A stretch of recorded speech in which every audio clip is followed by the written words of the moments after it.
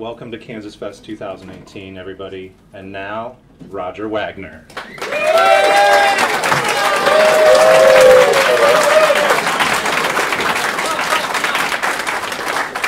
Here, Roger, we'll let you, uh, And my equipment's re- oh, but wait a minute, the lid's on. Mic's on. Give him a mic. we Give need that to, guy a mic. we need Give to that mic guy a mic. up as Give that guy a mic. Oh, very good. Stranger in the night, I'm getting stranger in the night. Seems to be working. A little offset, but uh, hold on. So keep an eye on it to make sure we got the right guy. Yeah, we're good to go. We good to go? Dagen, this is for you. Where'd you go? I have my. Oh, there, good. good. This is for you. He said the only response I got was he didn't want anything else. He just wanted that. So here it is. Here it is. And and and for those of you that are just really crazy, I have brought a few limited limited edition. Pick a photo, any photo. Here, go ahead, pick one. That's yes. That's bad. All right. Just pick anyone. Come here. Free choice. Okay, now wait. Is it an apple too? Wait a minute. Is it that one? Thank you. Crowd is happy. I hope you enjoyed it. That's, be brief, be bold, be, be gone.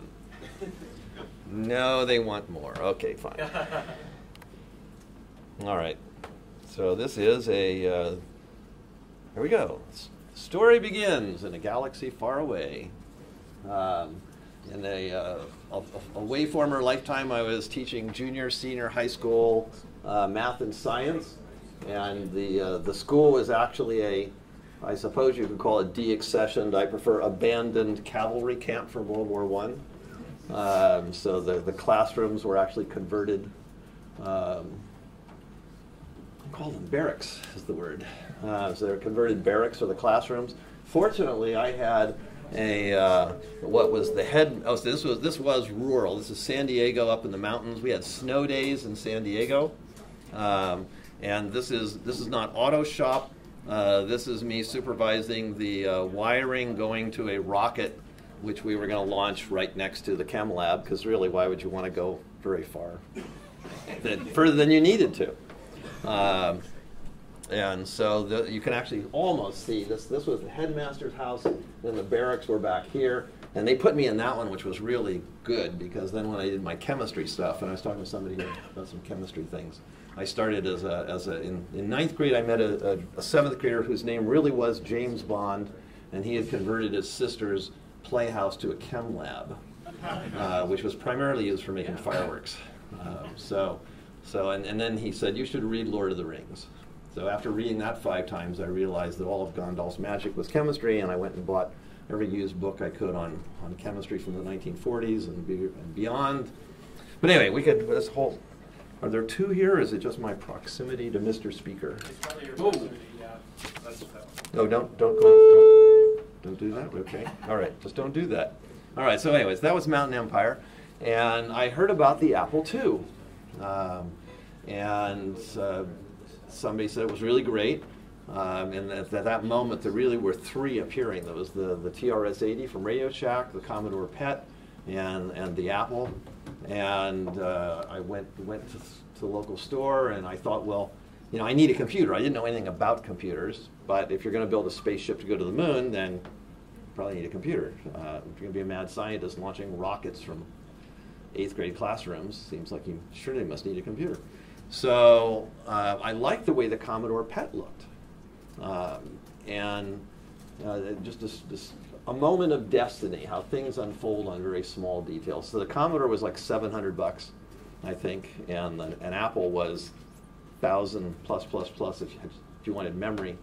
So I went and I was just going to get the, the Commodore PET. And the guy said, well, you know, it's a very small keyboard, a chiclet keyboard, in fact.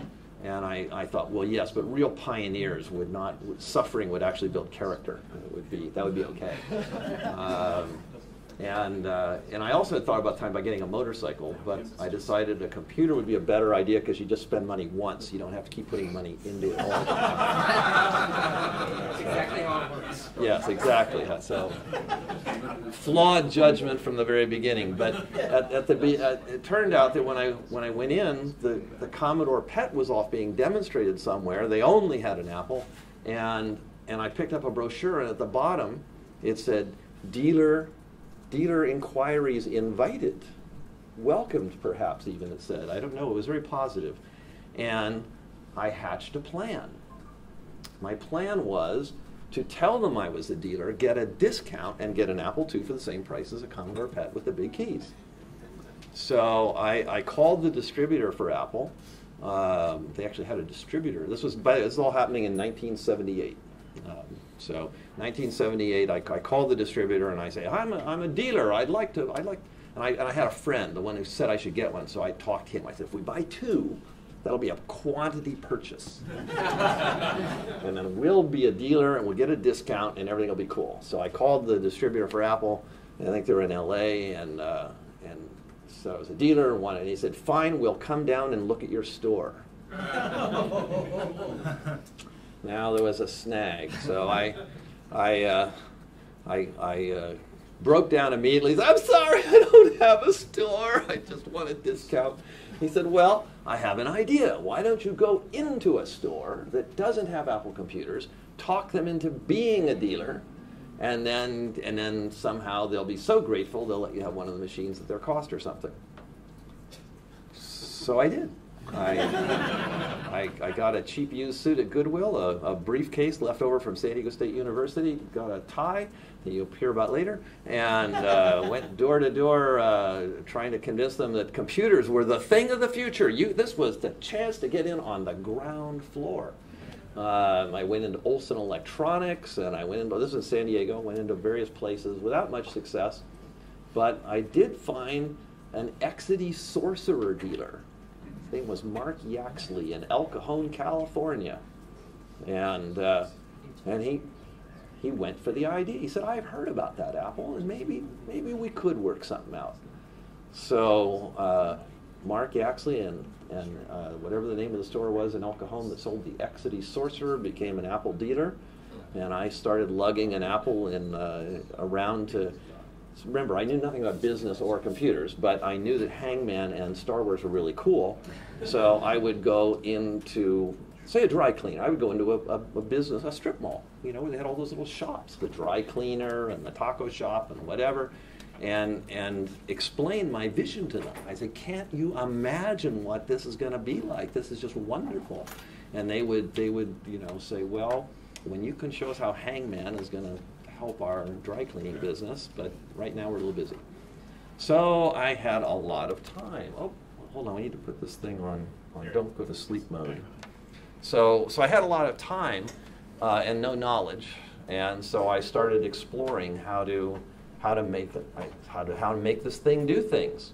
Um, and and I and then I discovered you I, I could actually send in my little article about what I discovered to Call Apple Magazine. Um, and so I started doing that. So this somewhere in the fine print here, it's got. Uh, well, it's all blurry, you can't read anyway. But anyway, one of those Call Apple issues, there were some early ones with articles by Roger Wagner, um, one of which my claim to fame is, and this sounds really cool when you're in a bar with people who can be impressed with a story like this, is publishing the first code to scroll the screen in both directions. Imagine how that changed the world. Yeah, you take you youngins take that for granted now, but Call Apple was the place that. Back in those days, it was read once. That was it. Well, you just read once and that's it. Um, and somebody said, well, you know, you sh- you could sell this stuff. Uh, so the programmer's utility pack uh, became the first thing, and this was still in the times of cassettes of all things, uh, hand typed on like a real typewriter labels that went on cassettes that I got at the probably the Radio Shack or something, um, and put them in a Ziploc bag, and then had the, the, the documentation, which was also typed on a real typewriter, um, uh, you know, duplicated.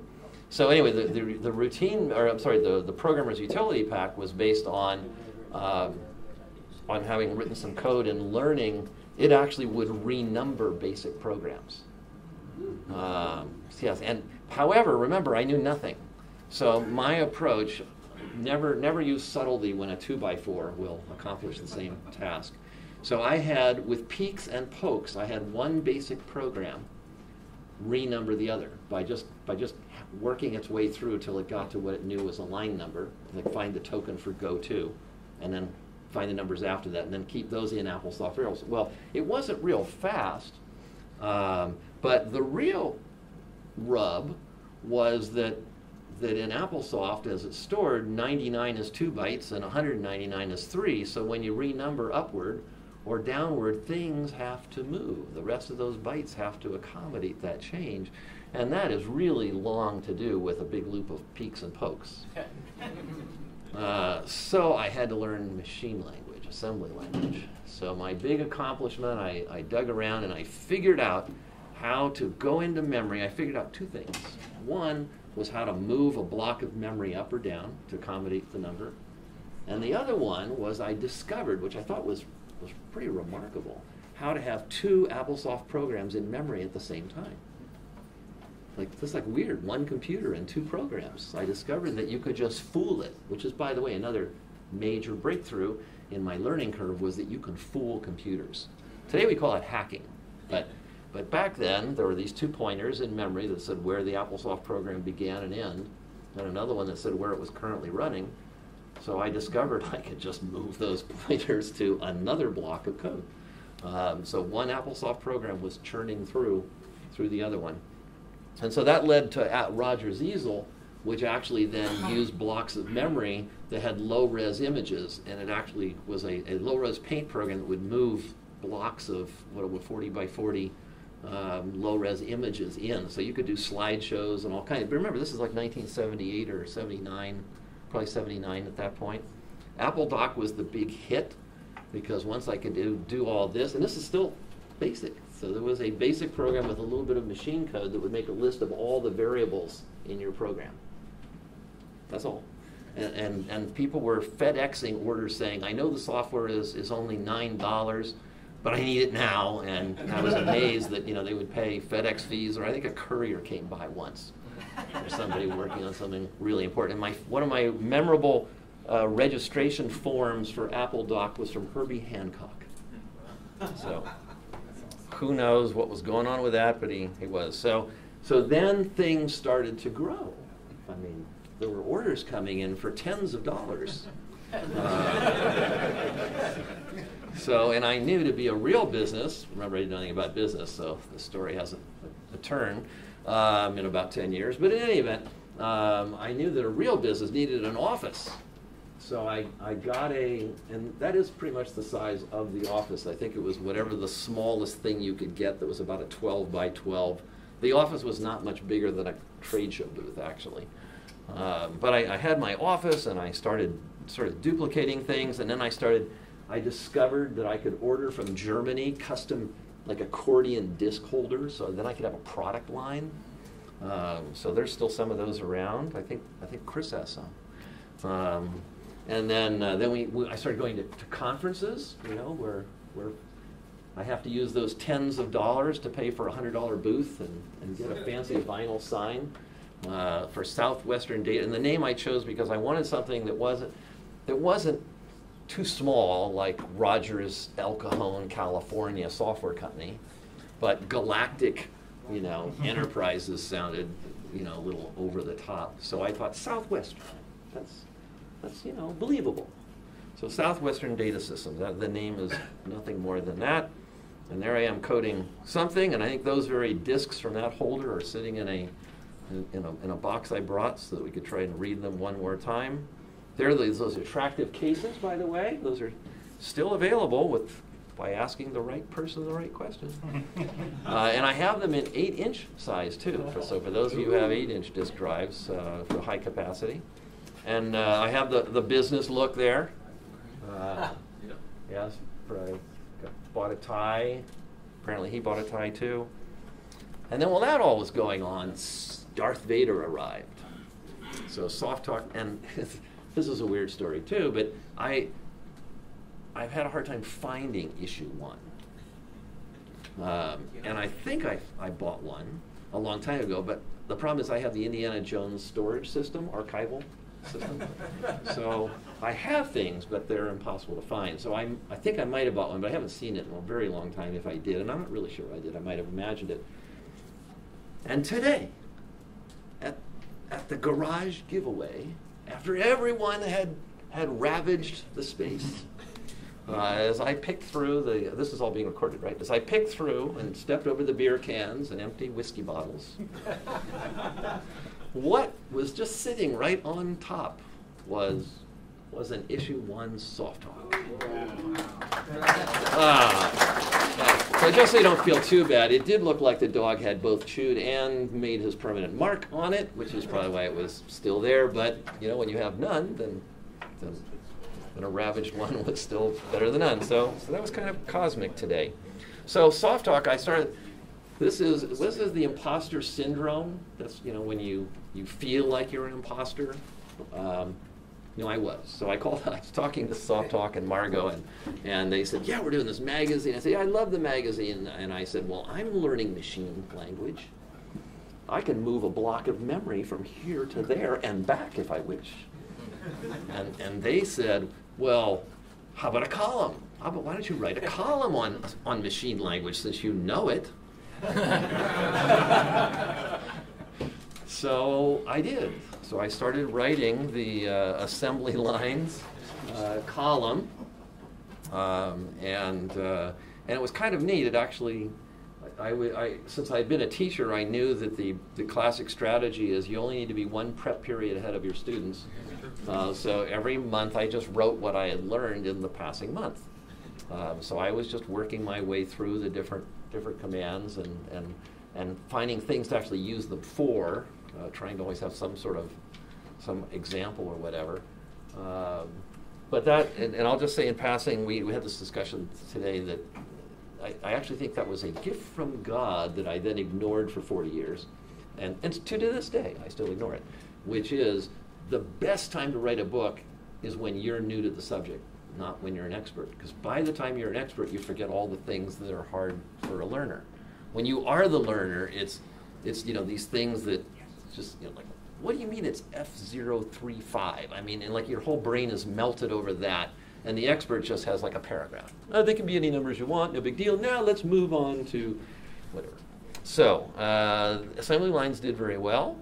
Um, I'm not even sure, but there were so many copies. Softalk kept sending me checks, um, which was really good. So that allowed me to. Uh, oh, I'm sorry, they didn't send me checks for that. That was just for fun. But then they said, let's put it into a book and that became Assembly Lines, the book.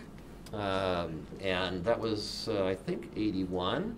And uh, there were some, uh, Chris Torrence, uh, the, things, they say you can't stand in the same river twice, but this being here today feels pretty darn close to that. Uh, but anyway, so the, and, and so the Assembly Lines lives today as the, as the compilation, although I have to say, the only downside of that book is it has the errors removed.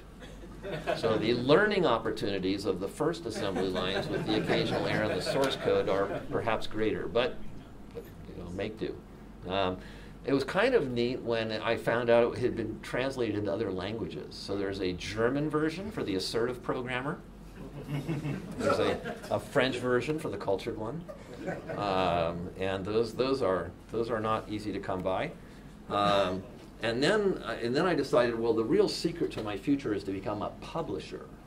Not because I have to keep being clever by moving memory there. That's, that's eventually going to run out. So I thought if I publish, other, I'll find other smart people uh, and, and be the publisher for them. Uh, so I started running ads in magazines that said, hey, you got code, send us stuff, and we'll, we'll be your publisher. Um, a guy walked in named Peter Meyer, who was, I think, a math PhD, or he was really he was really smart guy. But the part I always remember, he was also apparently the secretary to the High Lama in Tibet. Now, I don't think the High Lama is the same as the Dalai Lama, but I'm not really up on my lamas. So, but he was a very philosophical guy, and he was from Australia, not from Tibet. Um, and he had he had he made this really clever idea that in AppleSoft an ampersand will jump to a given location and start running some code. As long as it ends with an RTS, everybody will be happy. So he had done something that used that little AppleSoft pointer to say, great, I, I, I just arrived from a call from a running AppleSoft program from an ampersand. I'm now going to increment the pointer and read the name, like sort or invert screen or whatever, followed by parameters that AppleSoft will also parse for you. You can even have an equation with five layers of variables. And AppleSoft would parse all that and hand it to your, your routine and say that the result's 25. Or here's a pointer to the string or whatever. And it was amazing. Absolutely amazing. And I spent the next years of my youth while everybody else was saying, I know, let's write a spreadsheet, a word processor, a hit arcade game. Um, I was tapping away, writing yet one more and another and another, and so were other people. There's a whole toolbox series that I, I don't have on the screen, but uh, it was pretty pretty amazing, and I, I loved it to this day. And, and, and I just heard that there are other people that our, our very own uh, our, my doc, doctor here um, loves the toolbox, and there. Any, how many people have used the toolbox in the last ten years? All three of you. Very good. It's a, a limited audience, but now the rest of you know what, what you've been missing in your life. It's very cool. Um, because you can, you, can, you can make that incremental step. You don't have to know all this. You can say, I want to do one thing with, with these marvelous inventions that are being created. The correspondent was a word processor based on, on pure brute force. Take a block of memory, put characters in it, and if you need to insert something, there's that handy move memory routine.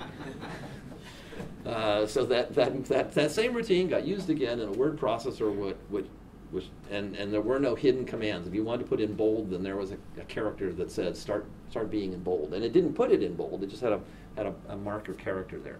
But it was very fast and very neat. So anyway, about this time, other stories. You asked for stories, so we have stories. Um, I, I, got a, a, a communique from Ken Williams at Sierra Online who said, hey, let's do a rafting trip. He didn't mean Pete personally. He said, let's write to all the guys and girls and let's go up to the Sierras and, and raft down a river. Um, so we did. And, and, I'm in there somewhere, maybe.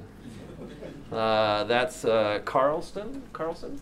Uh, it's hard to say because they're so young, but um, I think that's Gary, but I'm not sure. Uh, that's Rand. Is it Randy Hyde? from Rand, yeah, Randall, Lee Randall Hyde from from whatever.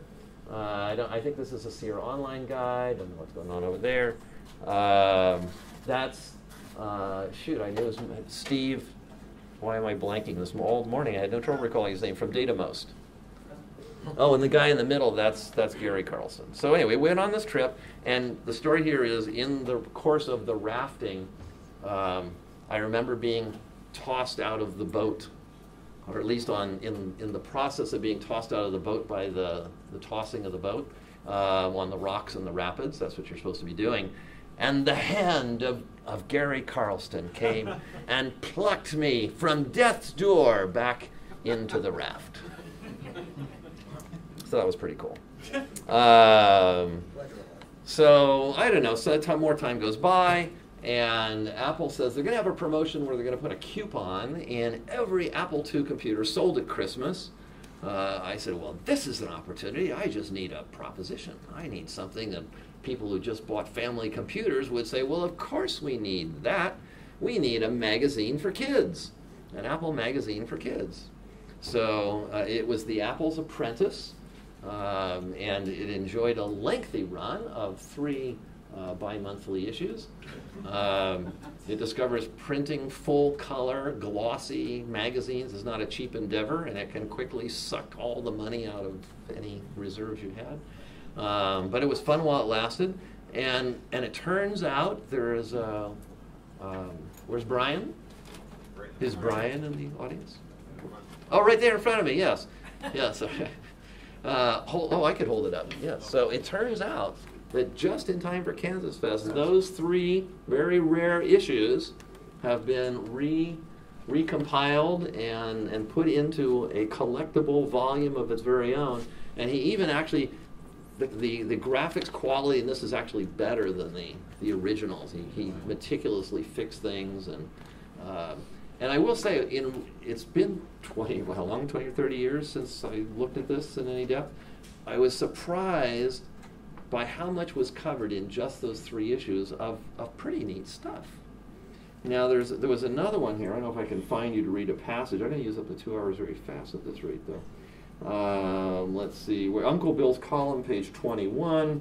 I said it was for kids, but that didn't mean I knew anything about writing or preparing content for kids, let alone legal liabilities. But it says, "Off we go. Hi, kids. I'm Uncle Bill." This column is dedicated to having fun with your Apple computers, making lots of money, becoming famous, and seeing what you can get away with while your parents aren't looking.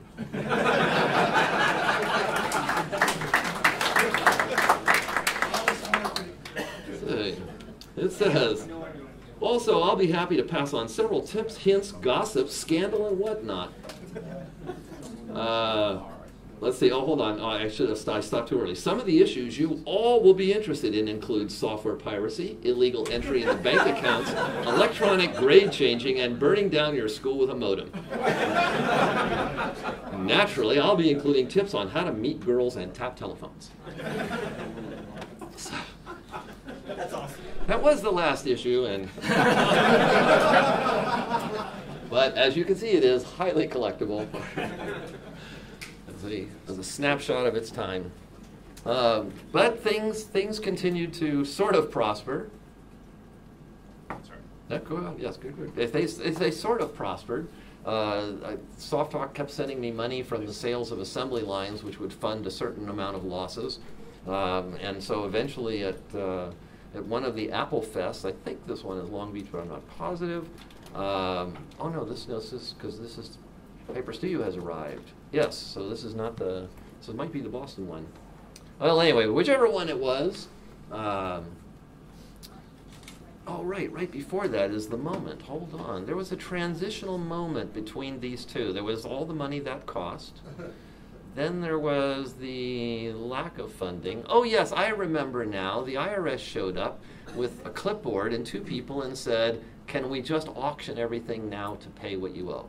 Oh, Oh, now I thought, if they're asking, that must mean that I can choose my answer. I went for no. I said, okay. It turned out they actually were very nice, they were very reasonable, and I just had to know to ask the right questions. Like, okay, when I say no, how long before you show up with more guys and, and you know, the next things happen? And they said, about three weeks. And I said, okay.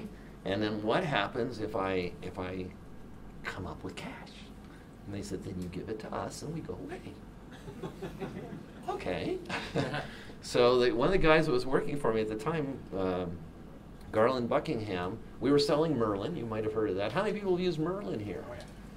Uh, more than the toolbox. All right, you guys need to get those Merlin schools skills into the toolbox. But I'm sorry, great, yay! So Merlin was a popular product, and um, I don't know how he did it. It was like a Jedi mind trick. He called up a dealer and said, "You would really like to buy a year's supply of Merlin, wouldn't you? We'll give you a big discount, ten percent." I don't know what he said, but all I know is he walked in with a check for the amount we owed the government. The government um, and disaster was averted. However, it did. It was, as they say, a wake-up call.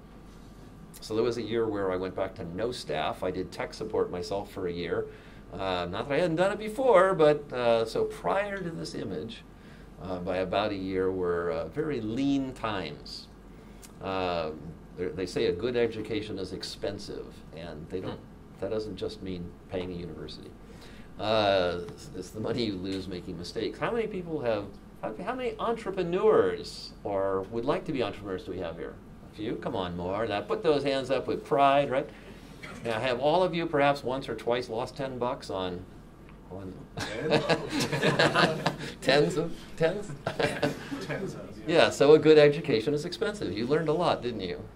And, and they don't have a class in that. So anyway, so so while I was going through the lean times, the Apple II GS came out, and people were still sending me software. And one person, in fact, this guy right here, Michael O'Keefe, sent me a paint program, and somebody else had sent some sort of a, a text editing thing. And then a, a guy walked.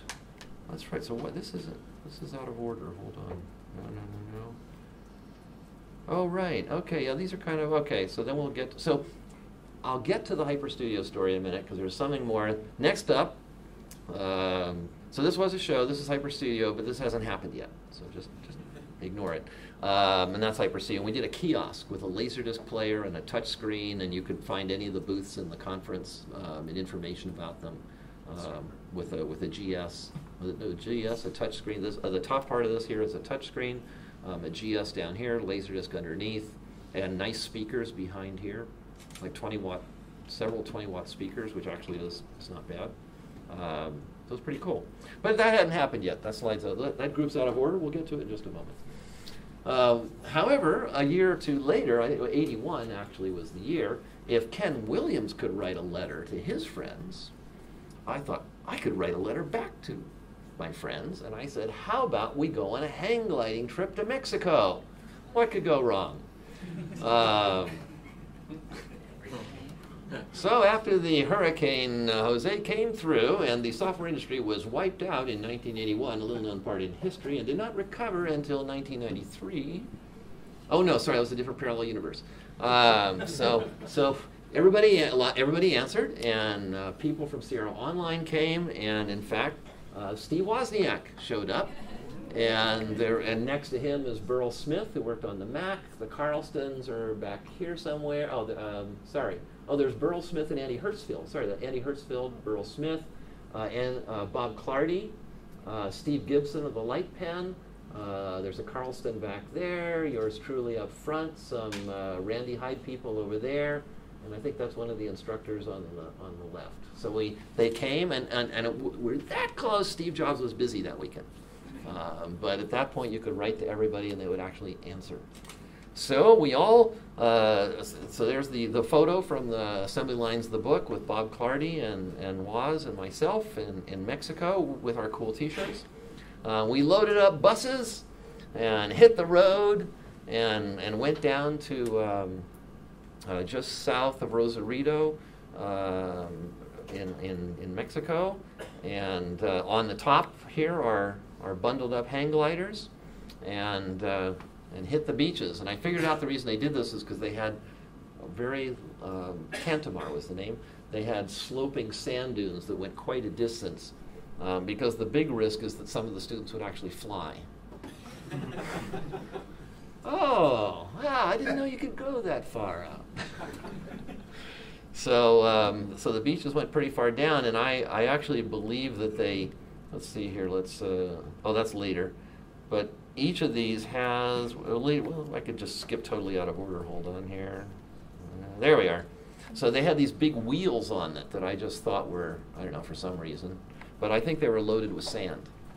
I actually think they had weighted down the, uh, the, the hang gliders so that they wouldn't fly. But if you were, if you were kind of level, and the ground is falling faster than you're descending, you would have the feeling you were flying until you got to the ocean, and at most you'd have to fish some people out of the surf. But, um, but anyway, it was pretty cool, and uh, and then and then there was a you know we would like we do here we have be eating in the evenings, and we had shirts. Of course, you have to have have to have shirts with uh, hang gliding things and cartoony stuff on it. Um, got to find a good image of that. Didn't. But anyway, so we are all having a good time. Uh, there's me and, and, the usual suspects, and there's Woz. Um, there's me being happy.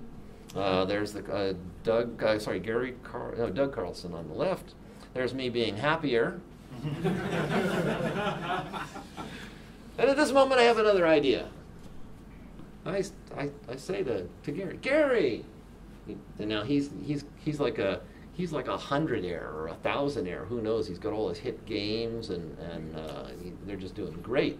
And I don't have any games because I'm just doing the toolbox and the routine machine and and waiting for the IRS to show up after this picture's taken. So uh, so I, I said to to to, um, to Gary, I said I have an idea. I'm going to do a game. I got I, got sent a game by a guy named John uh, John Besnard, um, and and it's a really cool game, um, and and it's where the aliens are the good guys, and the Earth people are attacking.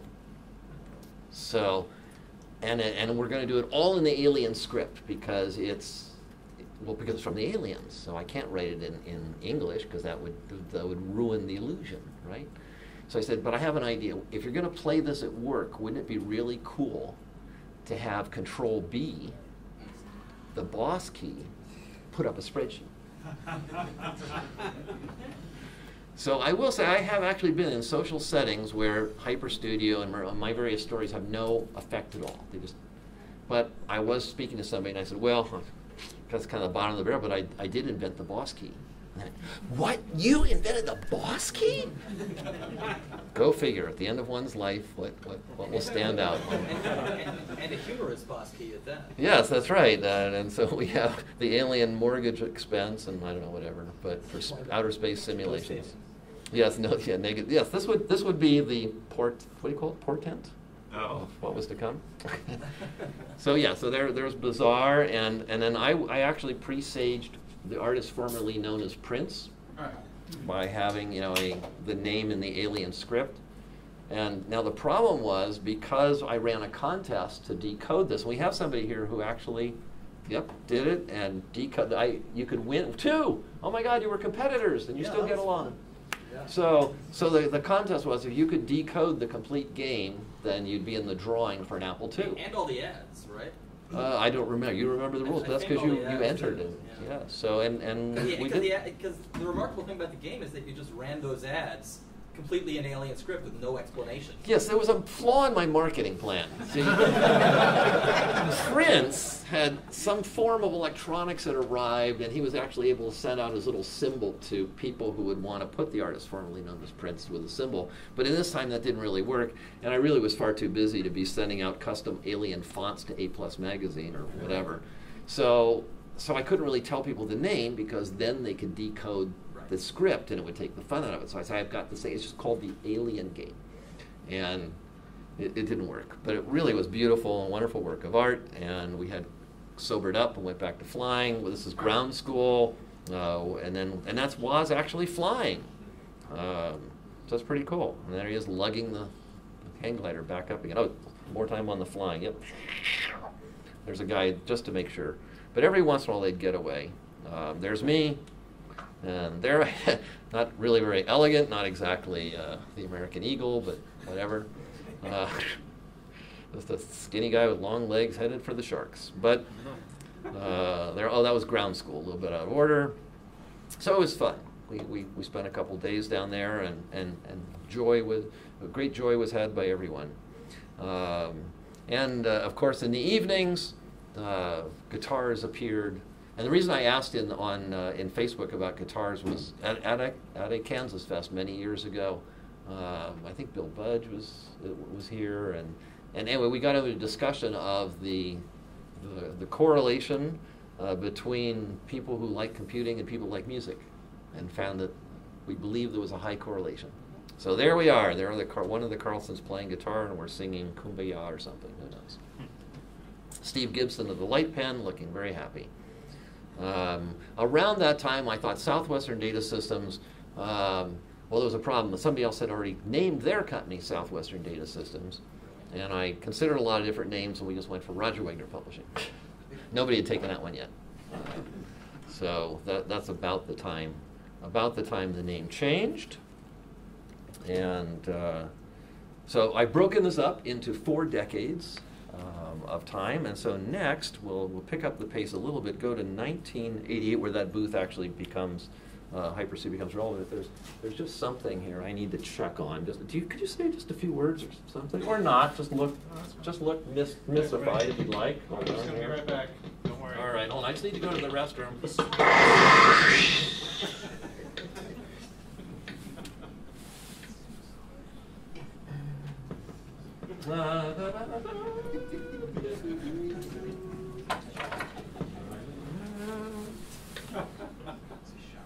Some enchanted evening, you may see a stranger. You may see a stranger across the crowded room.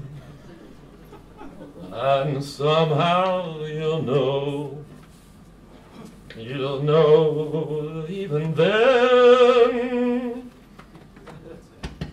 that somehow you'll see her again and again.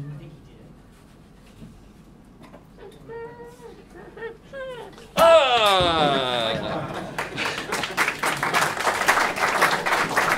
oh, sorry, I forgot. Dragging on the ground. Uh, dragging on the ground. I wonder I couldn't hear myself. Well, now we have a tie to hang it on. Okay. We're receiving Morse code from the alien planet. Interesting. Okay, where, where were we? Stop it. that fixed it.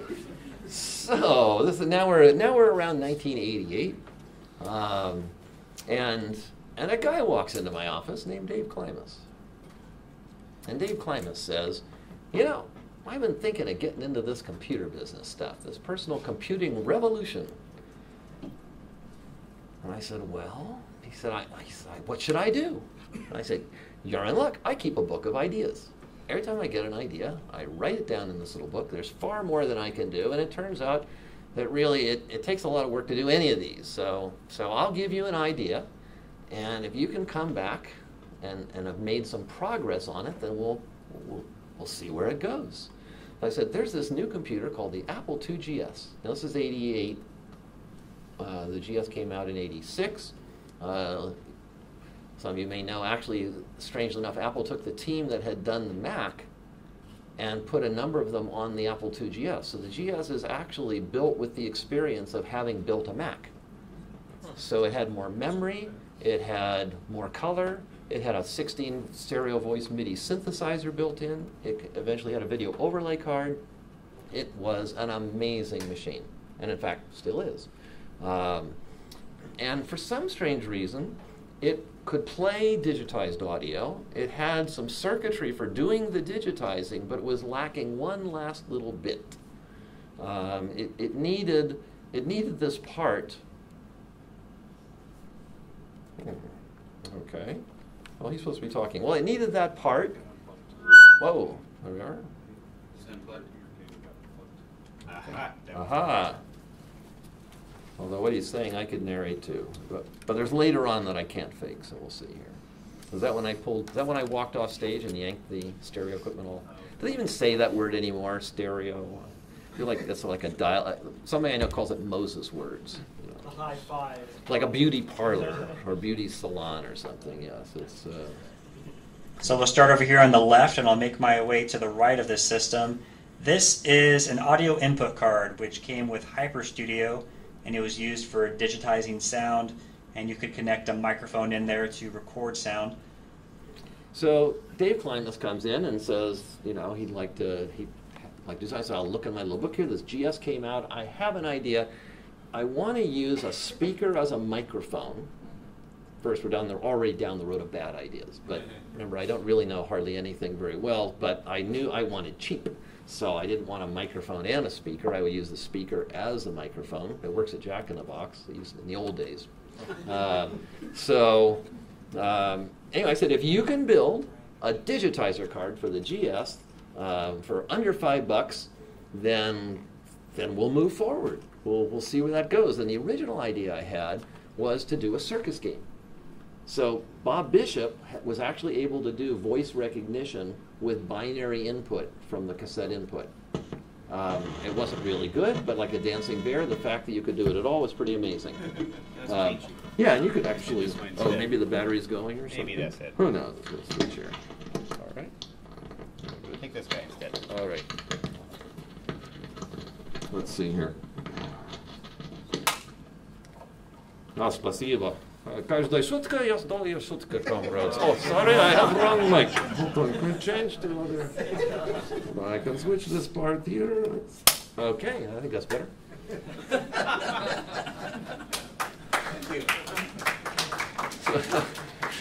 A smattering of applause, we will clean that up later.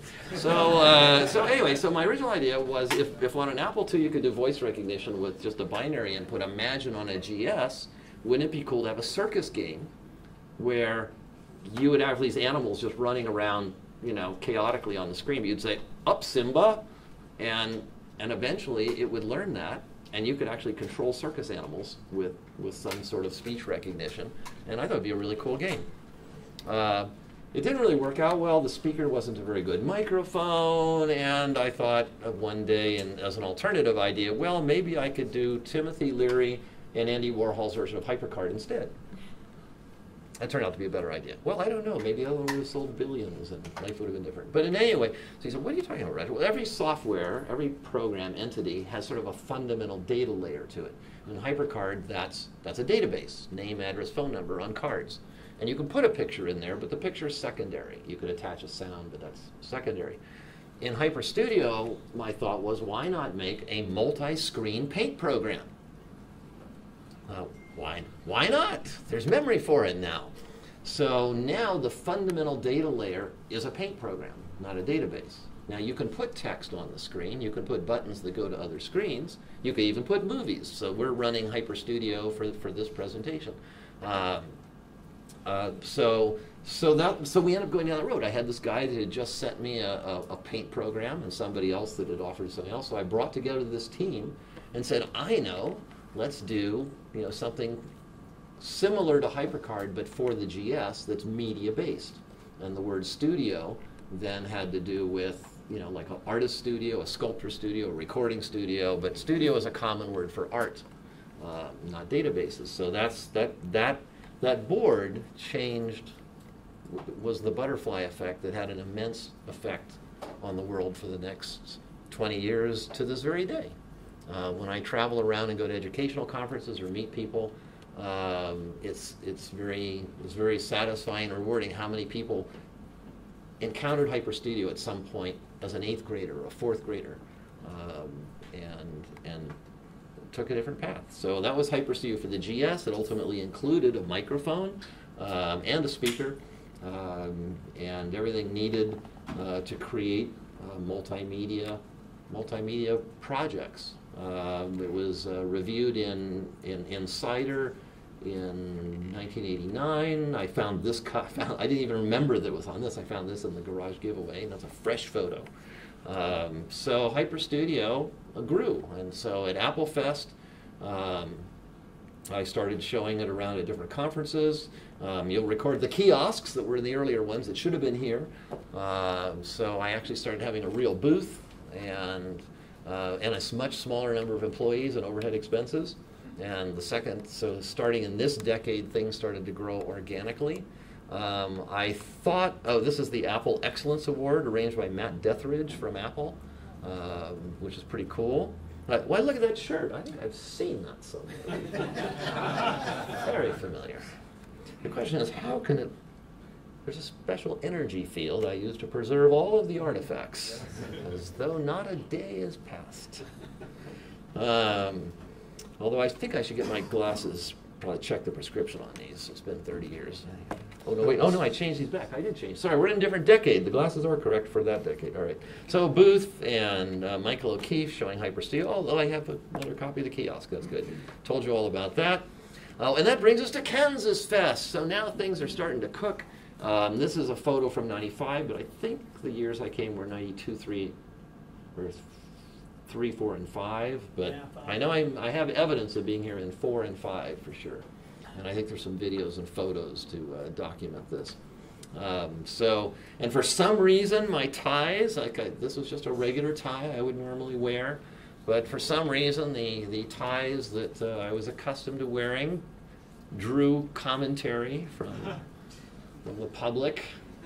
Um, and so ultimately, there, there became the Roger Wagner tie contest. Now, none of you here have heard of, of that contest, I know. You've never heard of it, sir, have you? You've never, you've never heard of that. So, uh, but, but contestants, sir, would you stand to show an actual artifact of this decade that we're currently in through the magic of my time machine?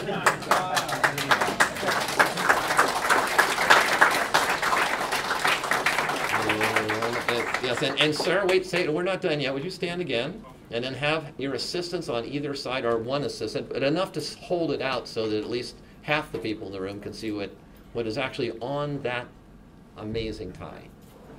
Now, it actually requires three conference rooms to accommodate.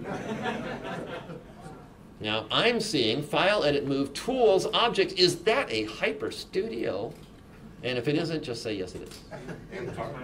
What? And card on the far And right. card on the, oh, there we are. There, there, that, that sound looks good. Now, would you just flip around um, so the people behind you can see?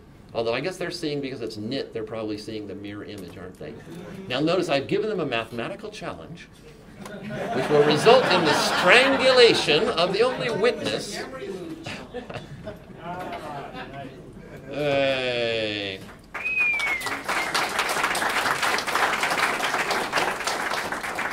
And for those of you on the periphery who were not able to clearly see, that would be the extended tie.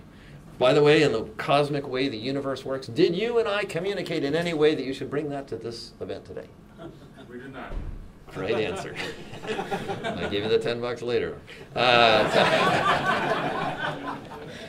so I, I, I hope you are as equally moved by seeing that I had your excellent accomplishment documented here as I am by having you actually appear, showing that I hadn't faked the photos.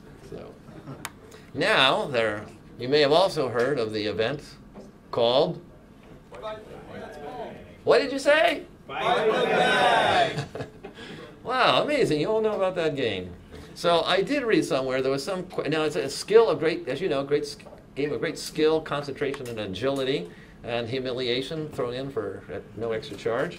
I kind of like this bag. It says car troubles. There's there's an artistic opportunity at any moment for combining the scene unfolding with the messaging on the bag. Um, so and and here I am ec- executing actually aerobatic maneuvers. Um, that's all totally under perfect control. It's all, all intentional. Uh, it's in, in theater, we say send them down to bring them up. You know, you have to make it look hard because it's so easy. You just, did it. Everybody would think it was easy, so you have to make it look difficult. I'm, that's why I'm just making it look difficult. Um, to prove that this goes back all the way to 1994 at least, because some documentation said 95, I actually have with me, is it, I didn't it? Okay. I have with me, I'll have to see it later, I actually have with me the crown, the Bite the Bag crown from 1994. Um, yeah, you, we have witnesses. I, I meant to put it in here, but I got distracted worrying about whether I'd have my presentation or not.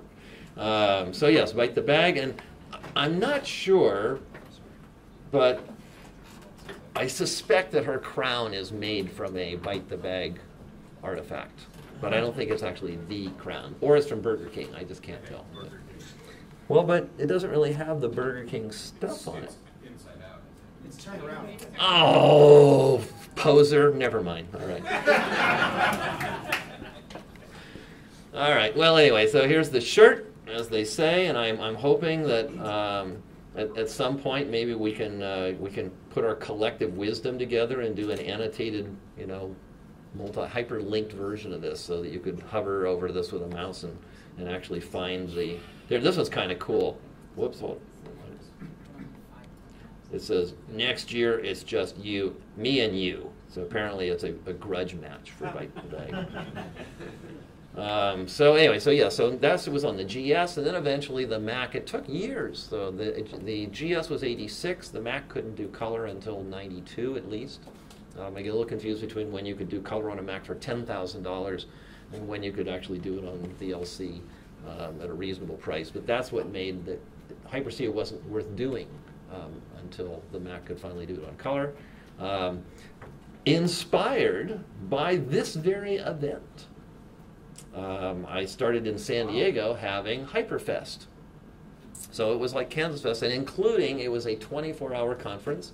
Um, we had uh, people, people just like here, except for HyperStudio. Um, and so peop teacher, except we did teachers. The mo- most users of Hyper were, were classroom teachers. So they were coming and showing amazing things, um, and that went on for seven years. Um, there was a mascot named Addie. Uh, Perry Reeves, who was my mentor and taught me amazing things. Um, and by the end of the 90s, uh, mid 90s to, to sort of the end, um, HyperStudio had actually become the number one title in K 12 education worldwide. So there were Turkish. So it had, there were versions in Welsh, Portuguese, French, Spanish, um, uh, just translations all over the place, Danish. Um, it, it was, I, at the time, being young and, and uh, self impressionable, I thought it was because I was brilliant, but in, in fact, I was surfing more waves of good fortune that were all simultaneously happening. The internet had not quite arrived, but yes, then there it was, and I was doing hypertext and hypermedia. CDs were invented during the, you know, or became available during the time of HyperStudio, even though we were already doing CD-like content. Schools are deciding that it might be a good idea for kids to have computers in schools, but what would they do with them? I know, a project on whales. Oh, look, there's HyperStudio. It's great for making projects on whales. Um, so I had some things I'd like to think contributed to, to the positive energy and success, but I was, I was in the end extremely fortunate. Um, but with good fortune comes paranoia. Oh, hold on. We'll get to the paranoia point in a moment. Uh, celebrating uh, the vast commercial success of HyperStudio, I then went to the next logical step of promotion and advertising, which would be sprint car racing with expensive banners promoting the product. Crickets. But nonetheless, there was my name and it felt good. Uh, so I needed a bigger sign that moved. So eventually, this is the HyperStudio sponsored uh, sprint car. Uh, and the gentleman there is, I had a, and I'm wearing the official jacket. It's pretty cool. Um, and, and actually, the gentleman there would be my brother. That's crazy Uncle Chuck, as we say. Uh, but anyway, now Chuck's a great guy. So that's he was the, the builder and, and driver of this, and you know, so it was pretty cool. Those times were very good, but but there was this problem of paranoia. So I was convinced that that uh, Apple and uh, uh, Microsoft and big companies would would suddenly recognize, hey, if everybody in the world is using this software, maybe it's pretty good, and they'd put hundred programmers on it, and I'd just be out of a job again, again, again, yes, again. So I'd be out of a job again. So um, I thought I should sell the company um, so that I I wouldn't just end up with nothing. So I, I went around and I found uh, people to help me do that. My, the favorite story is from Microsoft. So there were like 20 people in the room. Um, and I did my demonstration. By the way, I, I did mention before I knew nothing about business. I still didn't. But, but later, years after this time, I started figuring things out. of course, never listened to a guy that said he's figured stuff out. So, but, but I, I figured out a couple things. But anyway, so I, one of them was I didn't need to do a demonstration. There, it really was a napkin deal. The companies were in the midst of a giant growth plan who were buying anything that breathed. So all I had to do was hold up a box and say, Hi, I have educational software. Do you want it? They would say, We don't know what either of those words are, but yes, we want it. But I did a whole big show. And so I was up at Mike's, I had 20 people in a room. And, uh, and essentially, as I recall, of course, subject to legal disclaimer that I may recall this moment totally inaccurately and mean no ill feelings at all to any company at all with lots of lawyers. Um, as, I, as I recall, what I heard was something like, well, if we thought there was anything good there, we would just build it ourselves. So have a nice day. Um, so, but I found a buyer eventually, the company that owned uh, Howard Johnson, um, Avis Rent-A-Cars, um, oh, Universal Studios, and, oh, and Seagram's. Uh, they bought um, HyperStudio, 'cause you can see how all those things fit together. Really- Mom, why do you keep locking the liquor cabinet and why don't we keep the HyperStudio discs in there? it was a natural sort of thing. So they acquired HyperStudio, um, and, and I retired um, for a while. So hold on here. Nope, nope, nope, nope, nope. Okay, hold on. Excuse me just a moment. I, I think I had too much iced tea. I, I, well, and, oh, and I have to try to. Oh, and I'm wireless this time, so I won't pull out anything, right? Okay, good. Put that there. Put that there.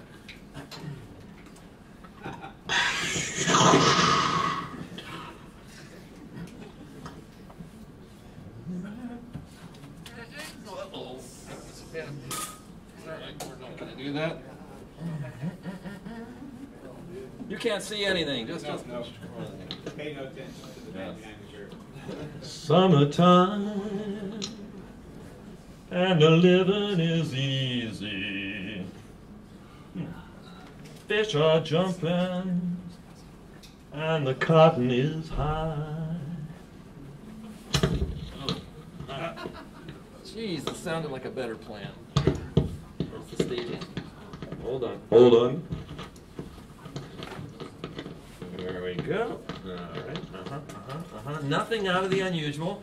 So, the Prince of Tides was neither about princes nor tides. Discuss. Let's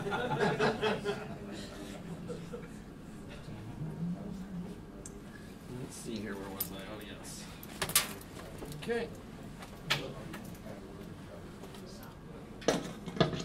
I didn't really get to finish summertime, did I? But hold on. All right. There's time. There we are.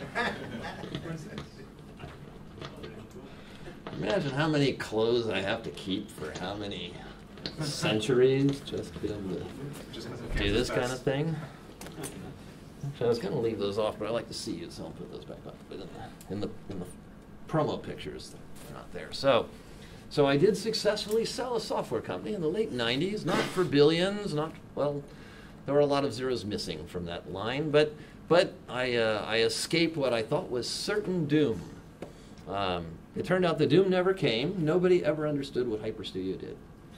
Um, so they could never build. In fact, so I was talking to somebody on the plane flying here, and they said, "Well, you must have had competitors." And I said, "Yeah, imagine. I'll tell you what the comp- competition was like. Imagine that I sell coffee, and and somebody says says, "I know they're doing a great business. Let's compete with Starbucks. Let's make cupcakes." and they do, and, and they do a great cupcake business, but it, it doesn't have any effect. So somebody else says, "Wow, well, you know, they tried, but they got it all wrong." Let's let's let's do stationery and envelopes and pencils, and that'll be good. So in the end, the secret of HyperStudio was very simple. It was designed to be the best tool for student projects. A kid has to do a report on whales. What do they need? So every design decision was centered around how fast can it move? What it's just got to be low friction. You've got 30 minutes to do something useful, and you've got to be able to, to do anything. If you want to connect to Lego robotics, you want to attach to a scanner, no matter what you want to do, as long as it's in the context of doing a student project, then HyperStudio was designed to accommodate it. Other people would say, I know, let's do movie software, and we'll tell stories with movies, and now we'll make, and then they just went off, right? So now they're on an arc about doing things with movies. But if you happen to be able to do a student project with it, it was incidental. And somebody else, you know, took some other angle. And, and, but generally, they were very enamored with a different paradigm, but their goal wasn't to allow students to do projects. So it turned out that to this day, nobody ever duplicated HyperStudio, and I don't think they ever will, um, although that's a pretty big word. Um, but, but never did. So anyway, I, I sold the company, I, I retired. Um, and one of the things I, I might have mentioned my chemistry story early earlier. This was my lab when I was in uh, ninth grade, uh, when I'd met James Bond, and we started exploring the wonders of chemistry. Um, by let's see, ninth grade, right? So tenth grade. Um, by high school, my lab was upgraded a bit. Oh, by the way, this book here, that was one I found. It's from 1872 and it has pretty much on that page the recipe for the vial of Galadriel that Frodo used in the mountain uh, to illuminate while the spider Shelob was, was after him. How many people know what I just said? Yes, I knew I was here for the right audience. So it turns out that, that in this book called uh, Richard's Book of Receipts, because that's what they called Oh, I'm sorry, it's called, yeah, receipts. What they really mean is recipes, um, which what they really mean is formulas for how to make things, but they use the word receipts, is how to boil white phosphorus in olive oil. Now, there's some tricky parts in the process. Those of you may have heard rumors of white phosphorus's less agreeable properties, like bursting into flame on exposure to air let alone boiling it in a pot of olive oil. But it turns out if you do that, the instructions say you can put it in a little bottle and it's handy for reading your pocket watch at night when there's no illumination prior to radium. So you would pull out your little bottle, you'd pop, crack the cork a little bit, the oxygen would go inside, the whole bottle would start glowing, and you could read your pocket watch. You'd die later of phosphorus poisoning, but uh, but it was a great trick, and as a 14 year old, 15 year old boy, I thought it was great. So, yes, I did boil up white phosphorus, except there was a problem. White phosphorus was very expensive, red phosphorus was cheap. Now you can go to jail forever for just saying the words out loud. But, uh, but in any event, so I discovered I could distill red phosphorus into white phosphorus by building a, a flask, heating the red phosphorus. It would change to white. It would come over in gas form, um, and then distill, and then immediately fall in some water. But it would. Anyway, I can see you're fascinated by that. Roger, no, we're here to hear about the Apple II. Okay, well, the part about that was when I started teaching high school. I thought it'd be a really good thing to have my kids do because, as everyone knows, the thing you're excited about is what you want to teach a new learner. And then I discovered that sometimes there are there are steps that you did that you kind of forgot to tell the new learner. So the problem this is all true. So in fact, that that scene of those kids in that lab that was my lab, and that was the kid in this story. Um, the, there's a, an Erlenmeyer flask or a Florence flask. The white red phosphorus changes to white. It comes over a tube. It condenses. It's still liquid. And now when it comes out the end, it wants to burst into flames. So that's a problem. So you've got a little beaker full of water here, and it only falls about that far. And but it's in the water and everything's good. So I had him do that. I explained all that to him, and then I left the room. Why? I explained it to him, and then there was a noise. And I, damn, I forgot the part where the water level rises as the phosphorus is dripping into the little beaker. The, it displaces and the water level rises. And, and you have to remember to raise the, the apparatus or lower the beaker every couple minutes so that the water doesn't touch the tube. Because if it does, if you're not heating the, this thing permanently, you know, just like perfectly with positive pressure, it's kind of oscillating. It kind of goes, it kind of breathes a little. But on the inhale, if it touches the water, it sucks the water into the tube, which is like at 200 degrees centigrade or more, which makes the tube really unhappy, but it also cools the tube, which means it sucks even harder. So it takes about that long for the water to shoot into the flask, which is probably 300 degrees centigrade. And even though it says clearly on the outside Pyrex, I think there, they, there, there was a liability issue there for the Pyrex company because I can tell you when the water shot into the flask, it just exploded. So when it broke, there was all this this vaporous white phosphorus, which they didn't. Oh yes, World War One. Yes, as chemical warfare. Yes, that was where I remember reading about that. So there was a a, a wump, and and it makes huge amounts of smoke, which is why they used it as a, an agent in warfare. Fortunately, the kid was decked out with protective gear like a moon, like an astronaut, right?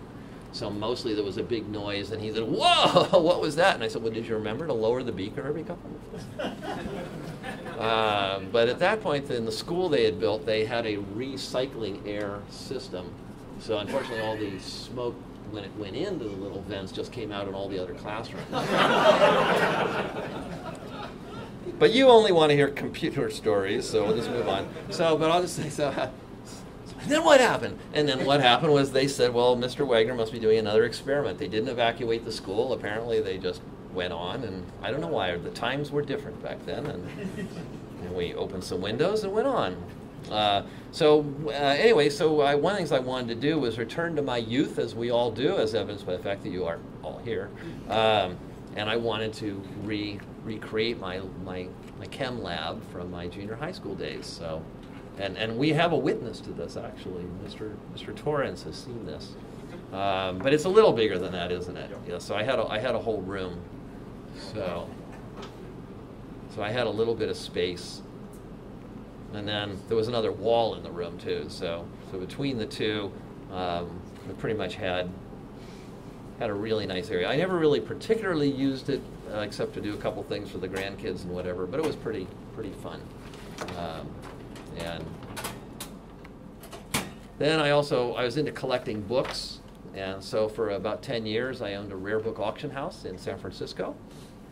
Um, on, let's come back here. How are we doing on time, by the way? We've just crossed over one hour. Oh, good. And, and we're already to, and, and this is going to go through. We're already to part. We're already to part three. We're the third decade already. Slow down. Oh, okay. Uh, all right. So anyway, so I had a rare book auction house, and I, uh, I, uh, I started. I like singing. I got it. Summertime and the living is easy. Oh yeah. Fish are jumping. Oh yeah. And the cotton is high. And you had lots of keynotes like this here before, haven't you? Your daddy's rich. Yeah, your daddy's rich. And your mom is good.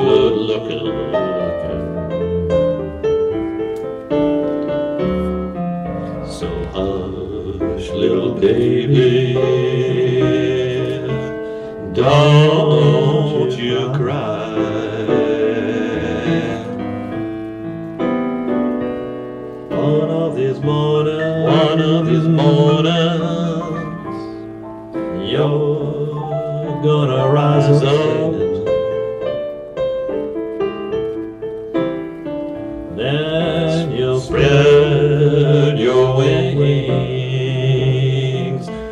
Take to the sky.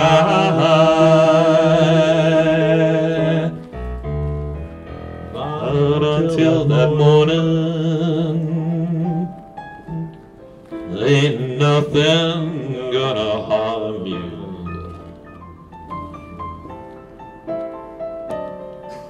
So hurry and We'll start with your daddy and mama. There's no karaoke here. I'm just it. standing by.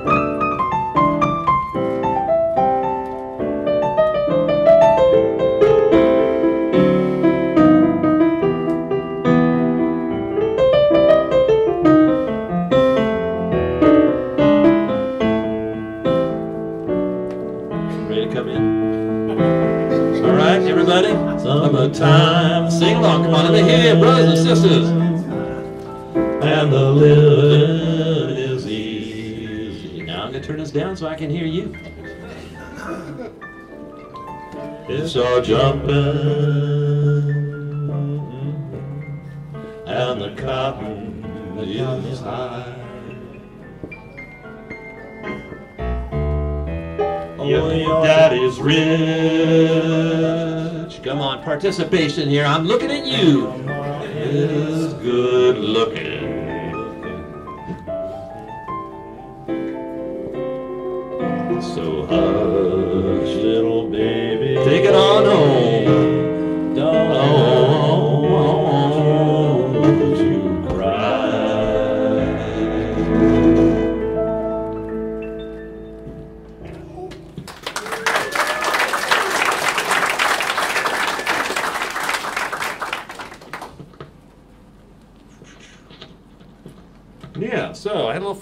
My hands. So I learned to fly planes. Found a good jacket. Said that looks like a pilot's jacket. I think I'll go learn to fly a plane. Uh, that's a little ritual when they uh, when when when you, I got my pilot. I did my first solo. Um, I, I that- there's actually nobody in the plane. That is a selfie. Yes. And there, there's a ritual of uh, call, cutting the tail feathers or something. Anyway, they cut off the back of your shirt. That's my instructor, Howard Johnson.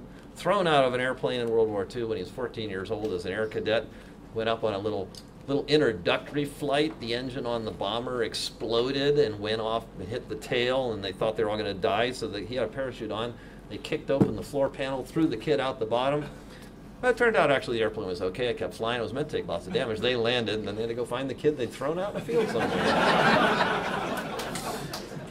That's the kind of guy you want to learn to fly from. Uh, I got a pilot's license. Um, learned to fly different kinds of planes. Um, just to make sure the authorities would properly respect me, I got my license signed by Buzz Aldrin and Scott Carpenter. Second. What do you mean I'm doing something wrong? They say I'm okay. It does, it does, yes. I- Yeah, that was the main objection. The problem was when they stopped me, they say, which one are you? I don't know, that's Bert Kersey and I must be the other guy. Um, I also uh, decided, well, you know, anything worth doing is worth overdoing, so I got a Mexican pilot's license. Uh, yes, it's real. Um, it's actually, some of the some of the exams are tougher than they are here. Here, the physical is the the doctor just says, "Well, did you find my office okay? Did you see the sign on the front?" You say, "Yes, I did." Well, your eyesight's just fine. Uh, when you're, you're here, apparently the, the receptionist, when she called your name, did she need to come over and tap you on the shoulder? Did you just stand up and come in? I know I heard her. So, well, then your hearing's just fine. Now the elevator's out. We always turn that off whenever we do a pilot exam. Did you come up the stairs okay? You don't seem to be breathing hard. I said, yes. Well, your heart's fine. Here's your sign off, and you are a pilot. In Mexico, they had me draw pictures of my mother and, and ask questions about whether I think being in a gang and smuggling illegal substances is a good idea. I figure if they're asking that question, they're looking for the answer no. But I passed that test, and those are true stories. So I learned to fly all kinds of planes, and uh, and it was wonderful. Um, I still do. Um, and uh, if this this bottom one down here, that's the the Zeppelin uh, Eureka airship Eureka, largest airship in the world at the time. Uh, some of my favorites, uh, World War II trainer, um, and and it, it is a freaking good picture. I, I admit. I don't deserve the picture. I was looking when I travel. I just find flying clubs, and I say, "Hey, can I get an, an instructor and go out and fly?" And they have a list. They'll have a Cessna, and they'll have a Cherokee, and I'm, I'm in Palo Alto. Ooh, clue. and I go down the list, and it's got we've got an SNJ World War II trainer. I mean, like flying club, like I can just say, yeah, that one. He goes, yeah, Saturday at one, okay. I said, yeah. so uh, so we went out and, uh, and, and flew around in that, which was which was very cool. Um, amphibious aircraft, seaplanes. I love seaplanes. Oh yeah, this one was pretty cool. Um, so I decided for my birthday, I was born on October 10th, 1952. Another karmic moment there. Oh, now you have all my personal information. Will steal my identity, but please do. I've got so much to do. I, I've got I, everything ready for you. I steal the identity. It's, it's ready for you. But anyway, so I found a place, and somebody asked. They said, "You don't just go on the internet and like Google fly a jet plane on Saturday, do you?" I said, "Well, actually, you do." But um, so I did. So it was pretty cool. Um, and then I also did. Uh, let's see, is that right? All right, no, sorry. And then uh, I also did uh, desert camping. Flew into Burning Man, so that's the the Burning Man lake bed. And Burning Man is just behind me. Um, so the kind of secret thing. We I still Hypersea is still sold to schools, and it has example projects. And this photo, there's a project that that second graders are looking at at this very moment that just says desert camping by plane. Be sure to bring along water and you know all the things you'll need. Uh, and like there's solar panels that I've I've saran wrapped uh, to the elevators back here, so they're charging this battery, so that when I get nervous and it's time to leave and I overcrank the motor, and the battery dies, there's no AAA for airplanes out in the middle of the Black Rock Desert. So that was one of the things I was worried about. So that was my backup battery for when I screwed up starting the engine when it was time to go home. Fortunately, it started and I didn't need it, but anyway, it makes a nice story in a Hyper stack for schools. I just don't mention it's at Burning Man. um, so yes, that brings us then to the to the next chapter. Hold on a minute, you'll you'll never guess, but I I just I don't really have an outfit for this one, but it's okay. Let's move along. It's the shtick, right? That microphone again.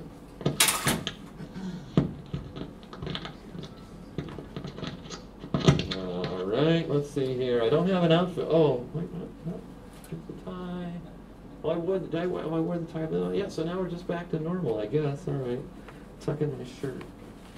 I don't want to keep you waiting. Sweet dreams till sunbeams find you. Sweet dreams that leave our worries behind you. But in your dreams, whatever they be, dream a little dream of me. All right, we're back, uh, and no theme. I there's just I don't have anything that goes with a volcano, so I hope you like the first three acts, though. Uh, so, so I'm in retirement, and I'm uh, I'm uh, eventually a company called Software MacKiev acquired HyperStudio, and they uh, invested quite a bit of money in bringing it back. Um, it exists at this very moment. This presentation was created with it. Um, and it's, um, it's, I guess actually I went said about there, probably even say software MacKiev somewhere in little print. But anyway, so in 2007, they, they, they came to me and said, oh, we want to, we're going to buy it from the people that have it. What they got literally was like a piece of paper with HyperStudio written on it and no source code and no nothing. So they had to start completely from scratch. Um, so for the next almost 10 years, um, I worked with them as really just a consultant and designer. Um, one kind of story you might enjoy on that is um, they they had done like an early prototype, so I wrote up like two or three pages of my comments. Like they had, um, I don't know, just whatever in the menus, and I wrote up all, all this stuff. And I said, well, you know, that's all very nice, but here's here's what I here's what I would say suggest you do it. And they we spent hours going through the list, explaining why everything on the list was wrong. They told me, no, that's nice, but like for instance, I said, well, you know, we've got to have command greater than and less than go to the next card and previous card. And they said, no, that's Apple period, that's for canceling. And I said, when has that ever worked? When have you ever had a frozen computer, anything going on that Apple command, Apple period ever even worked? And besides that, they look like little arrows, and I like that to go to the next card. And why don't you use the arrows? Because if there's a text field and your cursor's in the middle of the text field, and you hit the right arrow, you won't go to the next card. You'll just go to the next character. So uh, anyway, we ended the conversation with a, with a, a story. I said, you know, Willie Nelson sings over the rainbow, and Judy Garland does it much better. And he's, his guitar has a hole in it. I think he's, if he's not missing some of his teeth, he's, he certainly isn't the prettiest man to ever look at. And yet, all sorts of people buy his albums. So that's kind of like what Roger Wagner's HyperStudio will be, if you wish. Everything you said is totally true. Your list of why all my ideas are crazy are totally valid. But if you want it to be somebody else's HyperStudio, then that'll be just fine. But if you want to be Roger Wagner's HyperStudio, then it'll be kind of like Willie Nelson's over the rest over the restroom, over the, over the rainbow. hmm. The lipo batteries are going. Hold on. Um, so anyway, so but we worked it out, and I had artistic, pretty much our total artistic command um, over HyperStudio for the next nine years, and it turned out it is the Jedi lightsaber of of what it does. There is nothing in the category, so I use it every day. I keep track of online accounts. I build things. I do image manipulate. It does green screen and geotags. You can take a photo with your phone, email it to me. When I drop it on the screen in HyperStudio, when I click on it, it'll open Google Maps to where the photo was taken. That's just part of what it does. Um, if I drag something from Safari and there's an image there, and I say, oh, gee, where did that come from? Then I could um, click on that, go to comments and attributions, and I'd have the link from where that was downloaded. And if I were to control click on it, then it would open a browser to that web page. But that happens automatically. I didn't, I didn't have, that just flowed. And I could take a, a folder full of images and just drop it on the icon and it would lay them all out. And if there were movies in there, then it would automatically set them up so that the movies played on those cards. Um, and if I had a, a, button or an image and I wanted to go somewhere else, I could just drag something onto that image. And if it was an app, it would do it. Creative Commons is um, a way of sharing images, and almost no software supports actually putting the attributions in for every media element. HyperStudio does.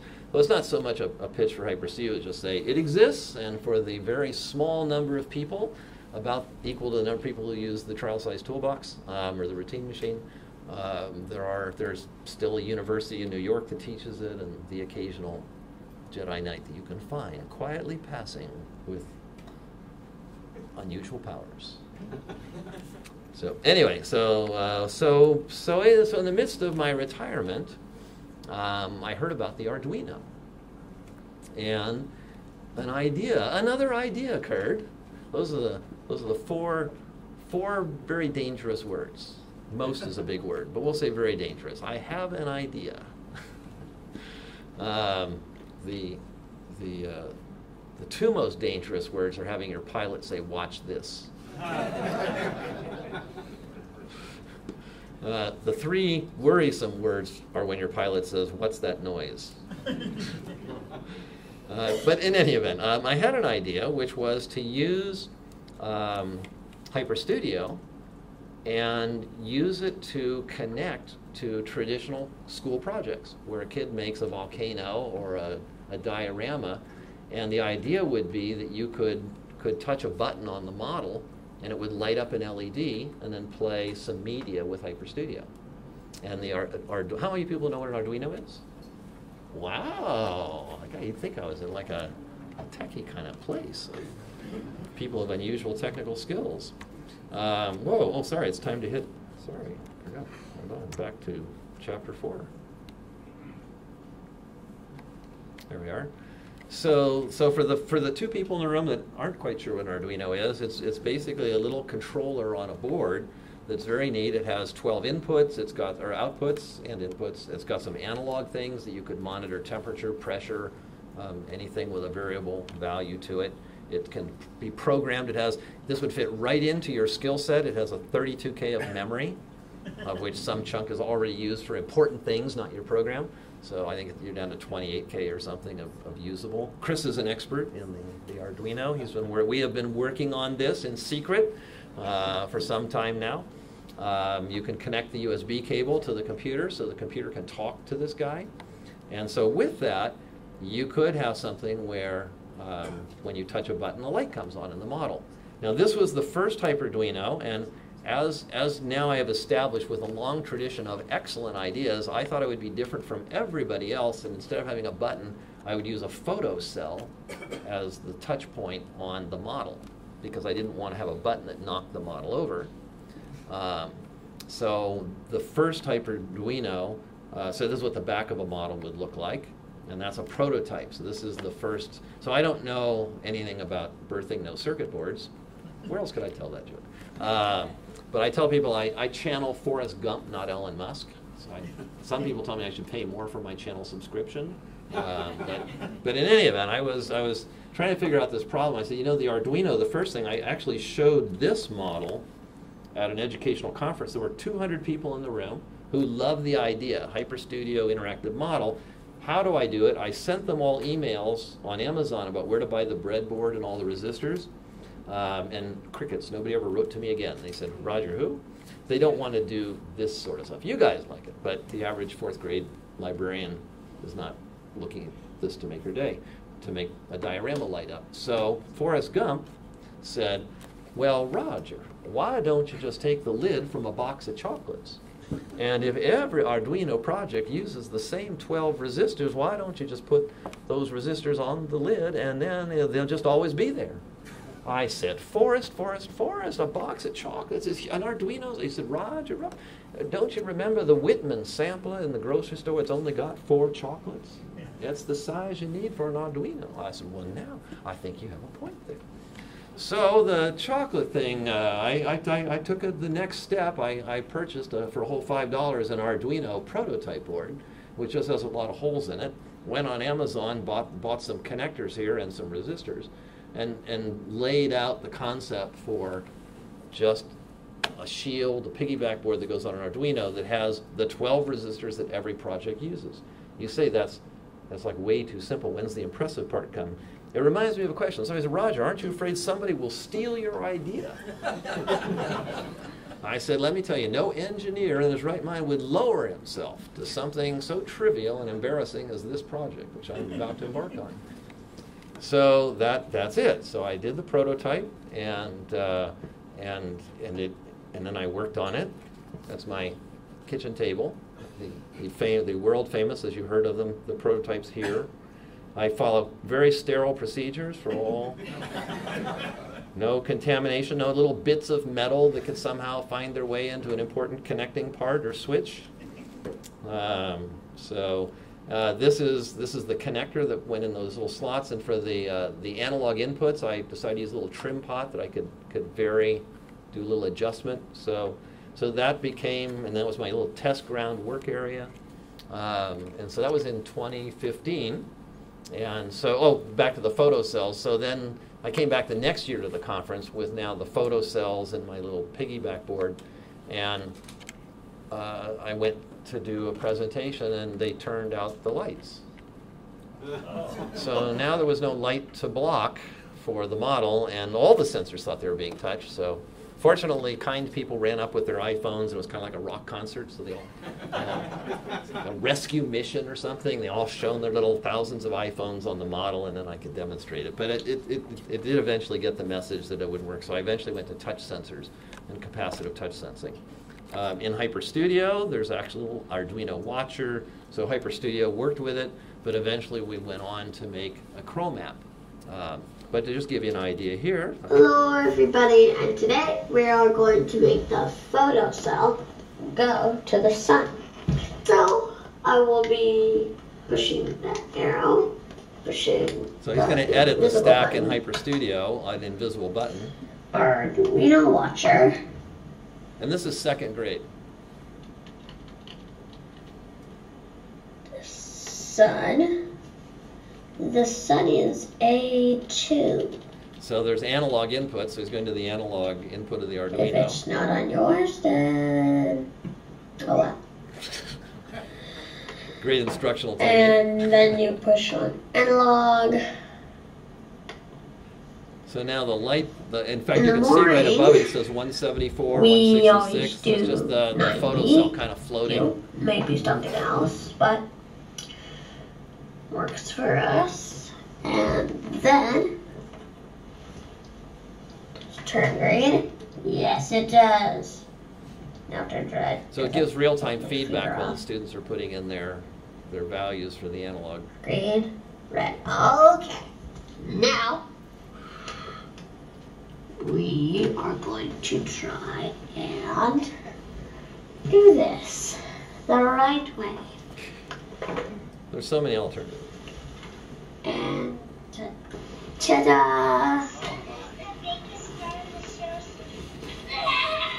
So on the screen and on the computer here, touching that sensor brought up, you know, this was a kindergarten class where every kid did a different planet. Um, so the idea of it actually is exceedingly simple, is just to be able to take any physical input and ultimately using a Chrome browser, not HyperStudio, because not all schools have HyperStudio um, anymore, is in a Chrome browser, anything on the internet um, can be linked to an, to an input. And so um, just to follow that theme for a moment, uh, I mentioned with HyperStudio, every, every program has a this fundamental data, data layer to it. And so on the Hyperduino, the flow that I use um, are URLs. So the whole idea, so this, this is what a, not that you can see it all that well, but we can pass one around.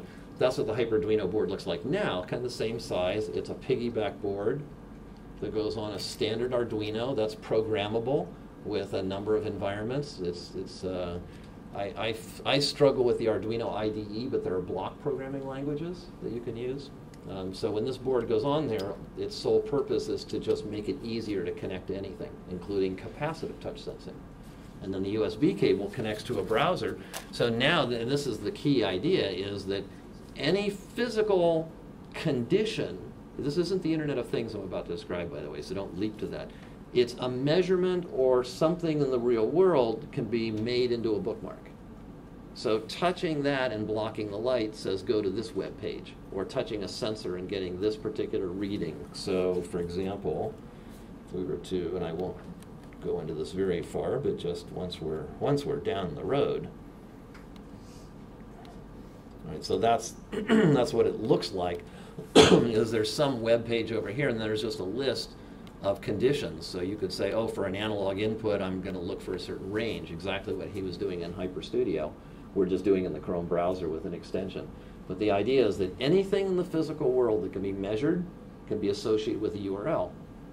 Which means, for instance, you could do a diagnostic device that when you put two probes in here, that reading you would expect. You'd say, well, if it's this value, I want to give this information. If it's a different value, I'll play a different video to tell the person what they should have done. And that value alone is associated with the URL. And it's, it's a different kind of flow than writing, you know, writing a program or having content that's all embedded in your tutorial.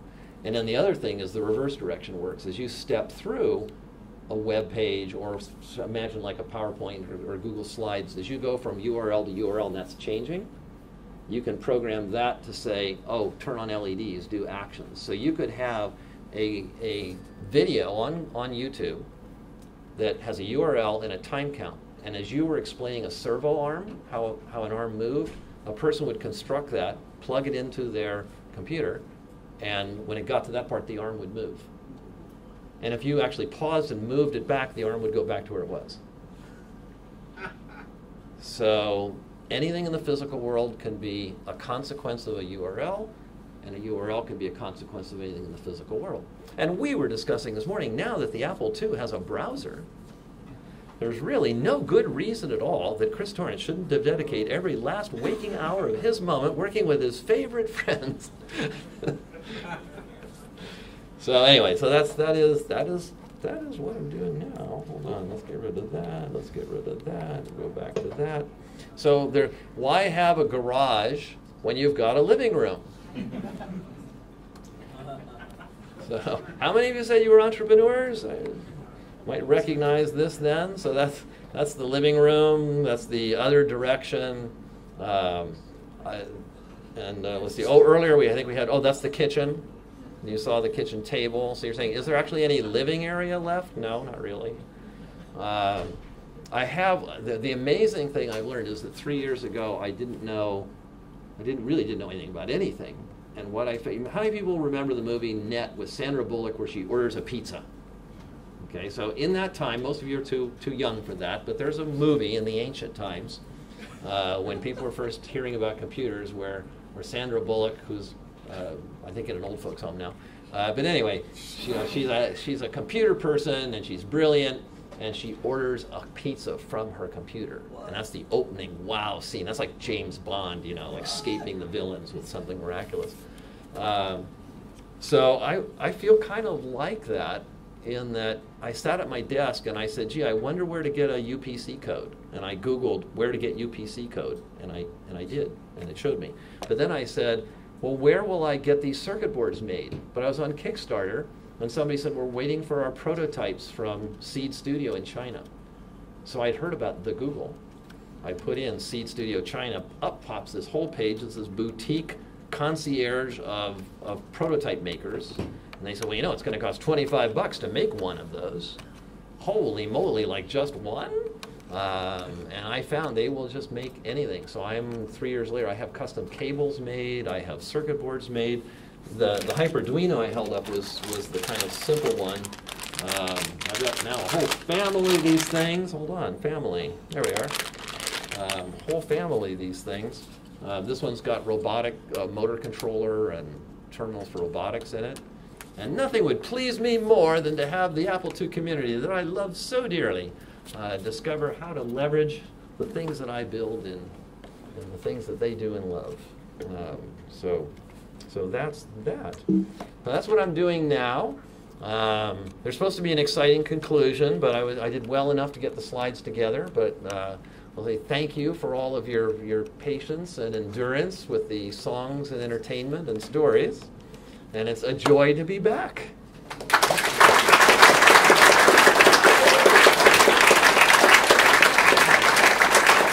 Oh. very nice, very nice. Oh, even though.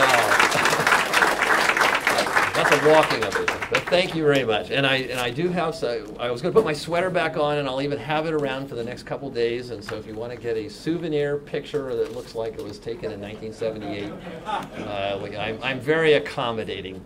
Oh, the other thing is for those who have used HyperStudio, um, only because if you're a oh if you're a collector, that reminds me two kinds of collectors. This is the overflow time.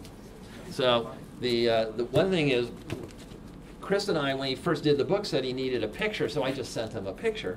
So there's a there was a small number of made that have me in the in the in the plane, which is a cool picture. But now we have the Woz picture.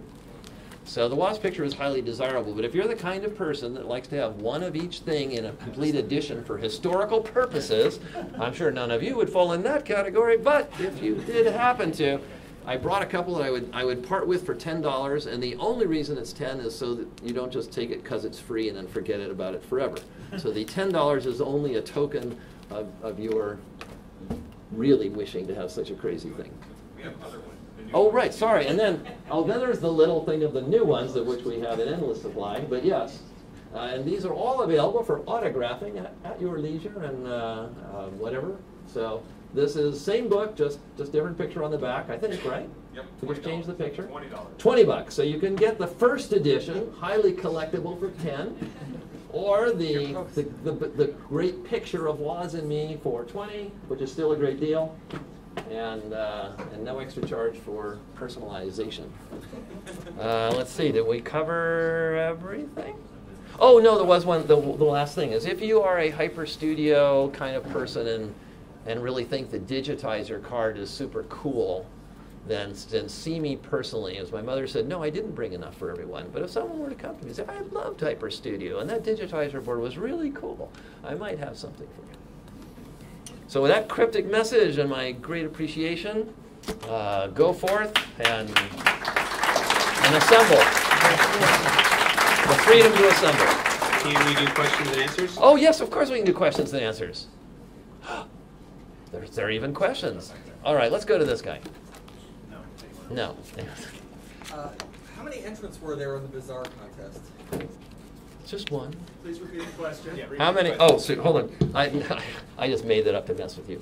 Uh, the question was, how many entrants were there in the bizarre And question? do you have any stories about it? Uh, I do. I, it's funny, I do. So, so you had entered the. Yeah, when I was 12. When he was 12, we have an entrant, and Forrest over there was an entrant. And I have to say, one of my regrets in life was that I, after we did the contest, I sent them all to John Baynard, and I assumed he or his wife threw them out one day, whereas I would have kept them forever in a sacred altar. Um, but, but I got all kind like like um, like huge amounts of work. Like they weren't just a piece of paper with here's the translation. Um, there's some people did like a whole recreation of the package. Um, so you, it looked like the package, but now it was all translated. Um, and so, the, so, but I, I did, I did. It was, a, it was an Apple II for the prize, so we did it officially by putting all the names in a hat and pulling one out. Um, and then, do I have any other stories? The other story that was kind of neat was, considering the complete lack of success with a marketing campaign due to certain choices, um, was somebody wrote and said, "I'm doing a book on cryptography. Can I, can I put a screenshot of your program in it?" And I, well, of course you can, and that's, that's kind of neat. So somewhere there are NSA agents studying alien script to protect our nation. Di- Didn't somebody send you a letter written in the Oh, you're right. How did you remember? How do you know? That was a tool. It's on tape. Oh, I, s- I- I spilled the beans on said it another event. Yes. Yeah, that sounds familiar now. Yes, and I, and I did translate it. It's coming back to me now. Was it used So that I probably still have. I probably no, did not send that. I probably did not send that to John. That was an excellent question. Now, you had a question, Oh, uh, uh, and then there was some over here. I'll, I'll preface this by saying that I've often told people that my favorite game of all time is Assembler, and more specifically Merlin and its variants. Oh, uh-huh. Um, and of course, Glen has passed, but I was wondering if you could tell me a little bit about how you, how you met him and, and uh, Oh. how you guys hooked up and started. releasing Yeah, question is. Glen Glen Bredon stories um, and Merlin and how did all that happen? Well, remember, so the very beginning is remember I wanted to um, uh, be a publisher. So I said I was going to start publishing other people's things, and along and so about that time, Call-A.P.P.L.E. was publishing Big Mac. No, that was the macro program. So what was their name for their version of Merlin? It was called Big Mac. Big Mac doesn't. Okay, so what was their one? Oh, PLE was the the line editor. Okay, right. So they were doing big. It's also confusing because then there was a Macintosh that came later. You see why my brain is so messed up. Confusing. So anyway, they did Big Mac, so I didn't remember at least correctly. So I was, you know, trolling for software for product to publish. So I called Glen and said, "Hey, how about if we do this commercially?" And he said, "Okay." Um, and so that was, you know, basically how that started. Um, and so the company, for those 10 years before the, uh, the reset, the government-induced reset occurred, um, was I wanted to be a utilities, you know, company and do programming tools because that's what I like doing. Um, I like I like that stuff. I didn't like. you know, I didn't. I didn't have a big desire to do even games, but I didn't really understand how to do games either. They it seemed like a dark art to me. And the only other story, which is not meant to be in any way disrespectful of St. Glen, but it's the only other story I have, is one day I was I found myself in Princeton. Uh, actually, I think there was a HyperStudio user group having an event there, and I find myself in Princeton, where Glen was based, and I call him up and say, Glen, it's been all these years, we've never met. I'm at Princeton's, I'm down at the, the whatever tavern it is. You know, I'd like to get together, and he goes, I'm busy right now. so I'll just say he was a very private man. So I've never had the pleasure of meeting him, but I know he used to go up to the mountains because when we would send him things in the summer, it was always a strange address. You know, I don't know if it was the Yosemite or the Redwoods, but it was you know the end of some you know fourth tree.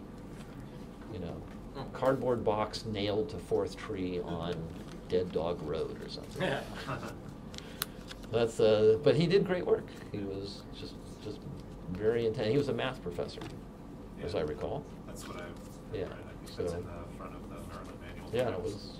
Oh, okay, yeah. So that's, that's so that sounds right. And Princeton would be a good place to be a math professor. There are some hands over here. I hope you haven't forgotten them. Yes. It's, it's just a small observation that your, your lounge carpet looks like a breadboard. What's that? Your lounge carpet looks like a breadboard. My lens. Your lounge carpet. Yeah, Looks for the living room.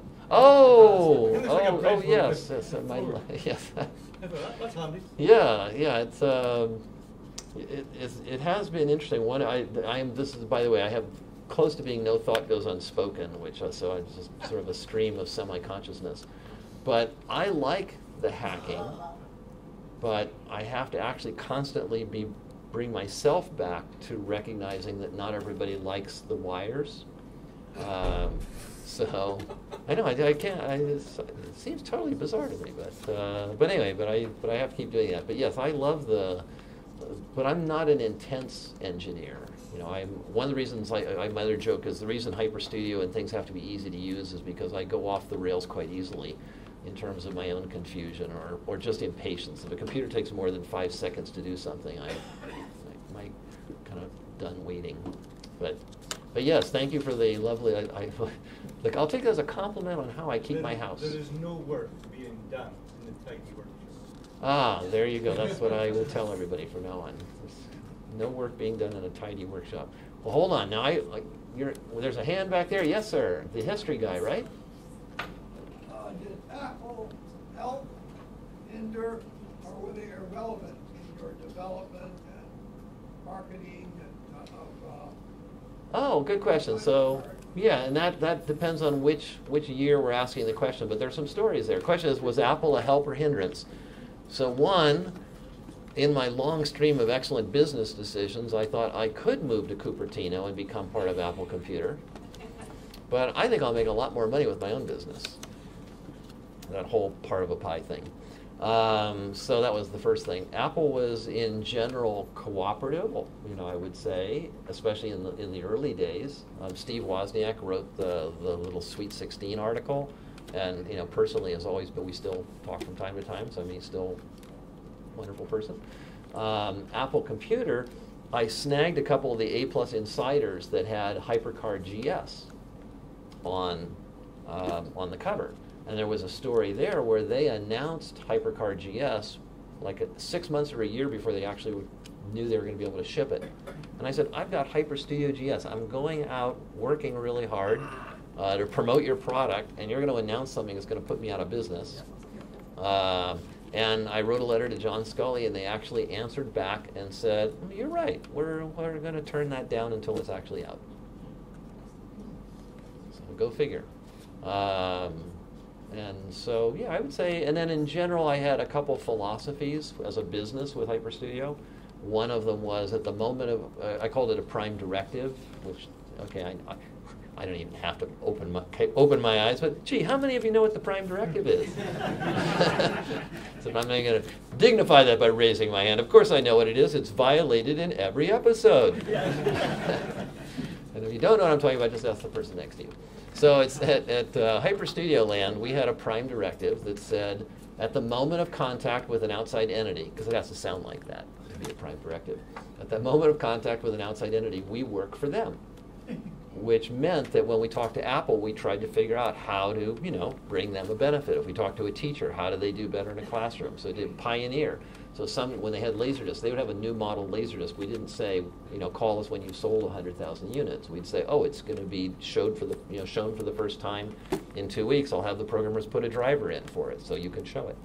Um, and that worked out. That worked out really nice. Um, so with Apple, there were things where like they were going to go somewhere when they needed a demo disc, and and so so we, literally put a person on a plane with all of the demo discs or whatever it was that they needed in their lap. It wasn't even like in baggage or anything because they said, well, there's no way you can get there, you know. And then there was another time, oh, they had a CD they were going to do of demo things, and they said, well, you only have two weeks. There's no way you can do it in two weeks.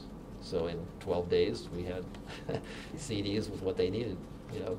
So it, and then another time, a school called and said, uh, by that time, Hyper-C was doing pretty good. And they said, we're New York, I think, city schools.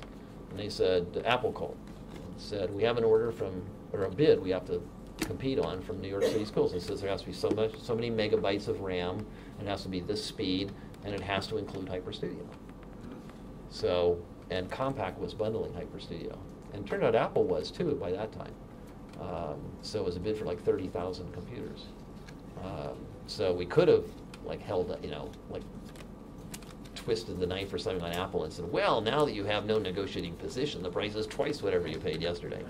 Um, but I said, no, you, you know, whatever, your, whatever the price was on these units, that's what it'll be on this other one.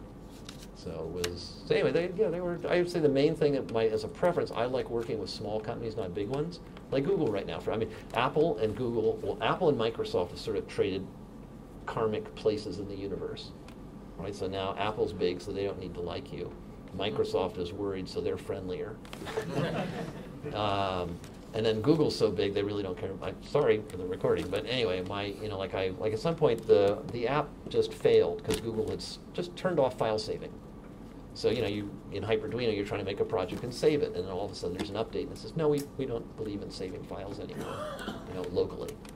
Um, and so there's nobody to call. This, like at some point I, I'd shown them something really great um, like a titration? And the answer was, thanks for sharing.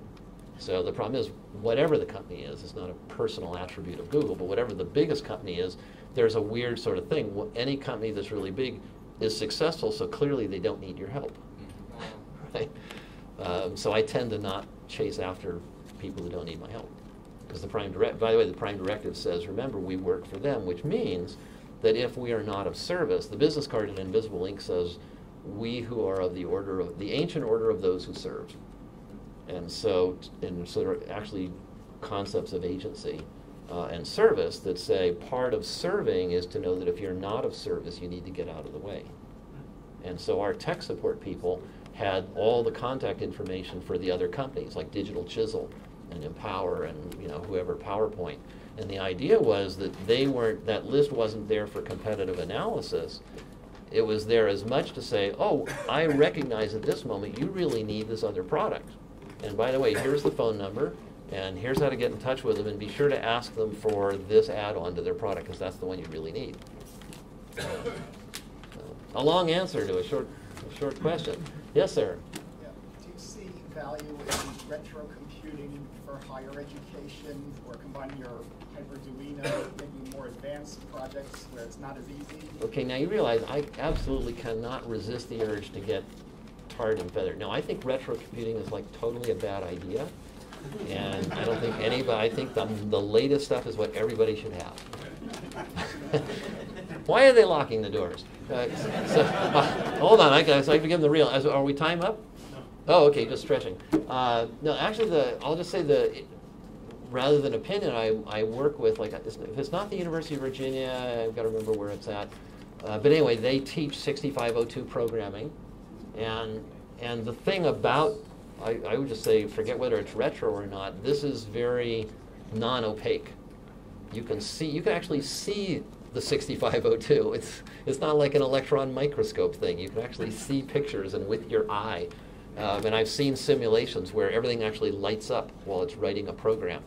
And, and so there's a, even on things like the Hyperduino, to me, because fundamentally I'm also an educator. Yeah. And so to me, that's a constant struggle of how much is opaque but more efficient, how much is not opaque but at the price of efficiency. So, so I, I think you know there are schools that do that, and that's who was here um, with the Apple One, um, saying that there were clients that used the Apple One uh, reproduction as a class project for for you know computer engineering courses because you can build it. You can at the end they know. In fact, when I learned to fly, that guy Howard Johnson, um, Howard Johnson, sorry, that's not his name. That's the restaurant. Howard Jackson. um, Howard Jackson said he wanted me to learn in a Cessna 150 because he said you will feel the airplane. You'll hear the air going over every surface, and you'll learn to fly an airplane. Is if you learn in something, even a 172 that has power, you'll think that engine power gets you out of problems, which when the engine doesn't work, won't. um, and turned out to be true. I really loved that feeling, and so I, I like, for instance, the Raspberry Pi. I'm not a big fan of the Raspberry Pi in the sense that the Arduino I can get my head around. I, I, I think I've already divulged I get confused easily, even when I was young. I would. Oh, I have a question, another one for you, and then sooner or later we'll have the subtle clue that it's time to go, like getting the green bag out of the box. Um, but I would stare at the Apple II for hours and then days on on a bug, and the only thing that kept me going was that I always eventually figured it out. But but but at some point it's kind of odd to be there, you know, 36 hours in and still have no clue. And then the part that drove me crazy was the zero, zero one problem of, I'll try to tell this quickly, but you, uh, I'll get it wrong. But you've got, you want to put some posts in for a fence. And uh, I'll forget the fence for a minute. How much is six divided by three? It, uh, it's, it's two, right? So now you're going to put in a fence and how many, and then you want them two feet apart. So how many fence posts do you need? Four, I think.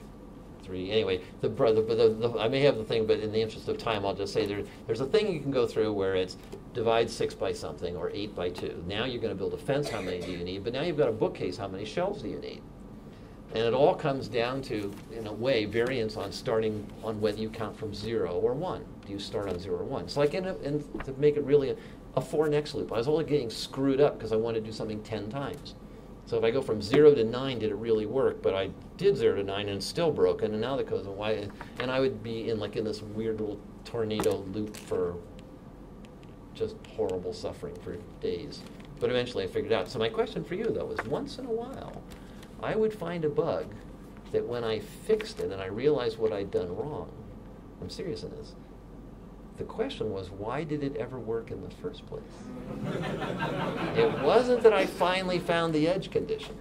It was, hey, now the that should never have worked. It should never ever. It, it wasn't like it was. It was just like that, and it was like some weird like those theories that the universe is being invented around us as we study it. You know, it was kind of like that where I wondered where there's something weird with stuff. Yes, question or just more stretching? Yes.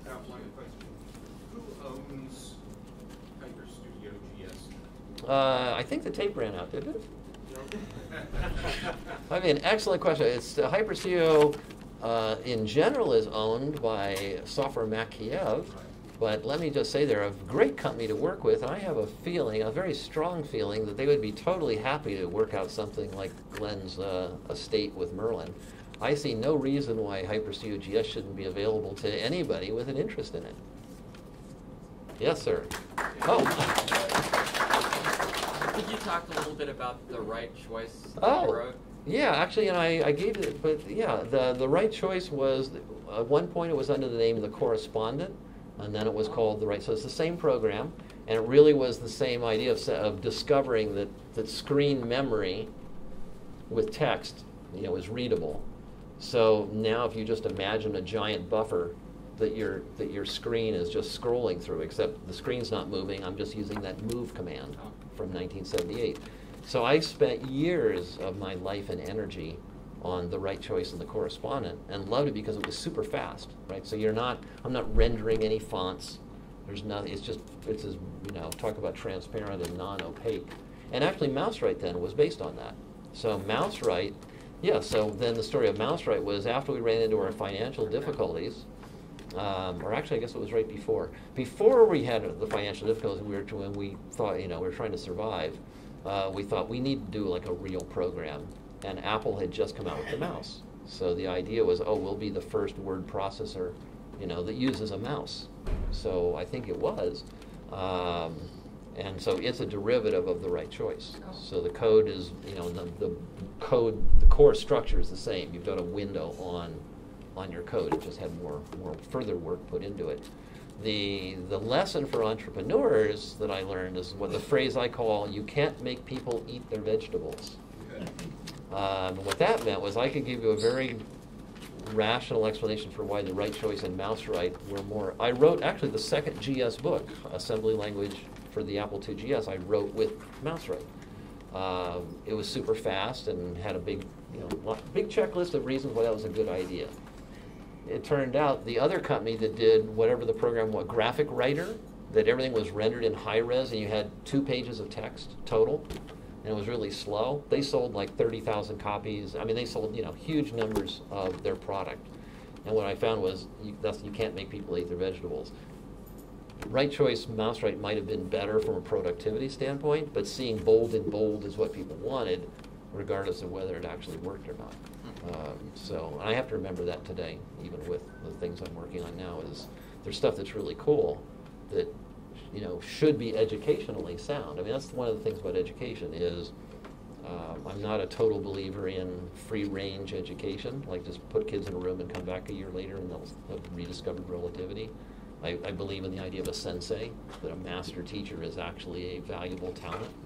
That and educate actually means educare to lead. So anyway, button B7. All right, another hand, and I'm sure I've worn you out. Did, Sheffy, did you have anything else that you were going to ask? Uh, I was just going to ask if I can arrange with you to coordinate on pinging software Mac. Yes. Yeah, consider it done. Yeah, no, can that, I'm cons- actually going to email you uh, about it. Yes, no, absolutely. And there was something else we were going to ask him too. Chris, what were we going to ask Jeff? We'll remember later, but there was something else. Your name came up already, once today. All right, I thank you. I applaud you for your patience uh, and in this room that seems to be getting warmer, but maybe it's just me. Well, the last Um, thing we wanted to oh, do wanna do, is, yes. our tradition here is when we have our keynote speakers, we like to present them with Really? the Apple II Forever Ah. Award. In recognition of your past and present contributions. Well, thank you. Well, hold on. Hold on. I can, I can do a selfie, but don't we have a here, Chris? Here, or, here, do it on mine, because uh, or I guess you could send it to me or something. But here, do it on mine. Hold on. Make that work. Here, come, come here. You're, you're, you're, It's about- you're the it's about high, you. You're the high priest, but no, they'll think I just hold on. They'll think I just made this in my basement. With Photoshop. Again. well, thank you. That and it's in color. Wow, who'd have thought? Well, that's very nice. That's a very, very much appreciated. And let me just say, it's a great honor to be here for this special anniversary. Um, it's uh, it is absolutely wonderful. Thank you all very much. Thank you again. Go forth and assemble.